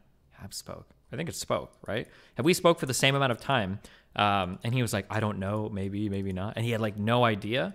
Um, I, yeah, I don't know. Like Jesus, holy shit! If he seriously couldn't tell, if somebody engages in like a TOS or like hateful manner, I think your obligation as a streamer is you're supposed to like get rid of that content in a responsible manner. So we don't approve of it, and then I leave the call because if he does it a second time, then I can get in trouble. But like if somebody does something that is like hateful or would be a violation of TOS, you're supposed to make an effort to remove the content from your stream. Like if you're in a game or whatever, then you just leave, right? I think like, yeah. So we left. It's whatever. I'm not gonna sit around and see if he does it like a second or third time.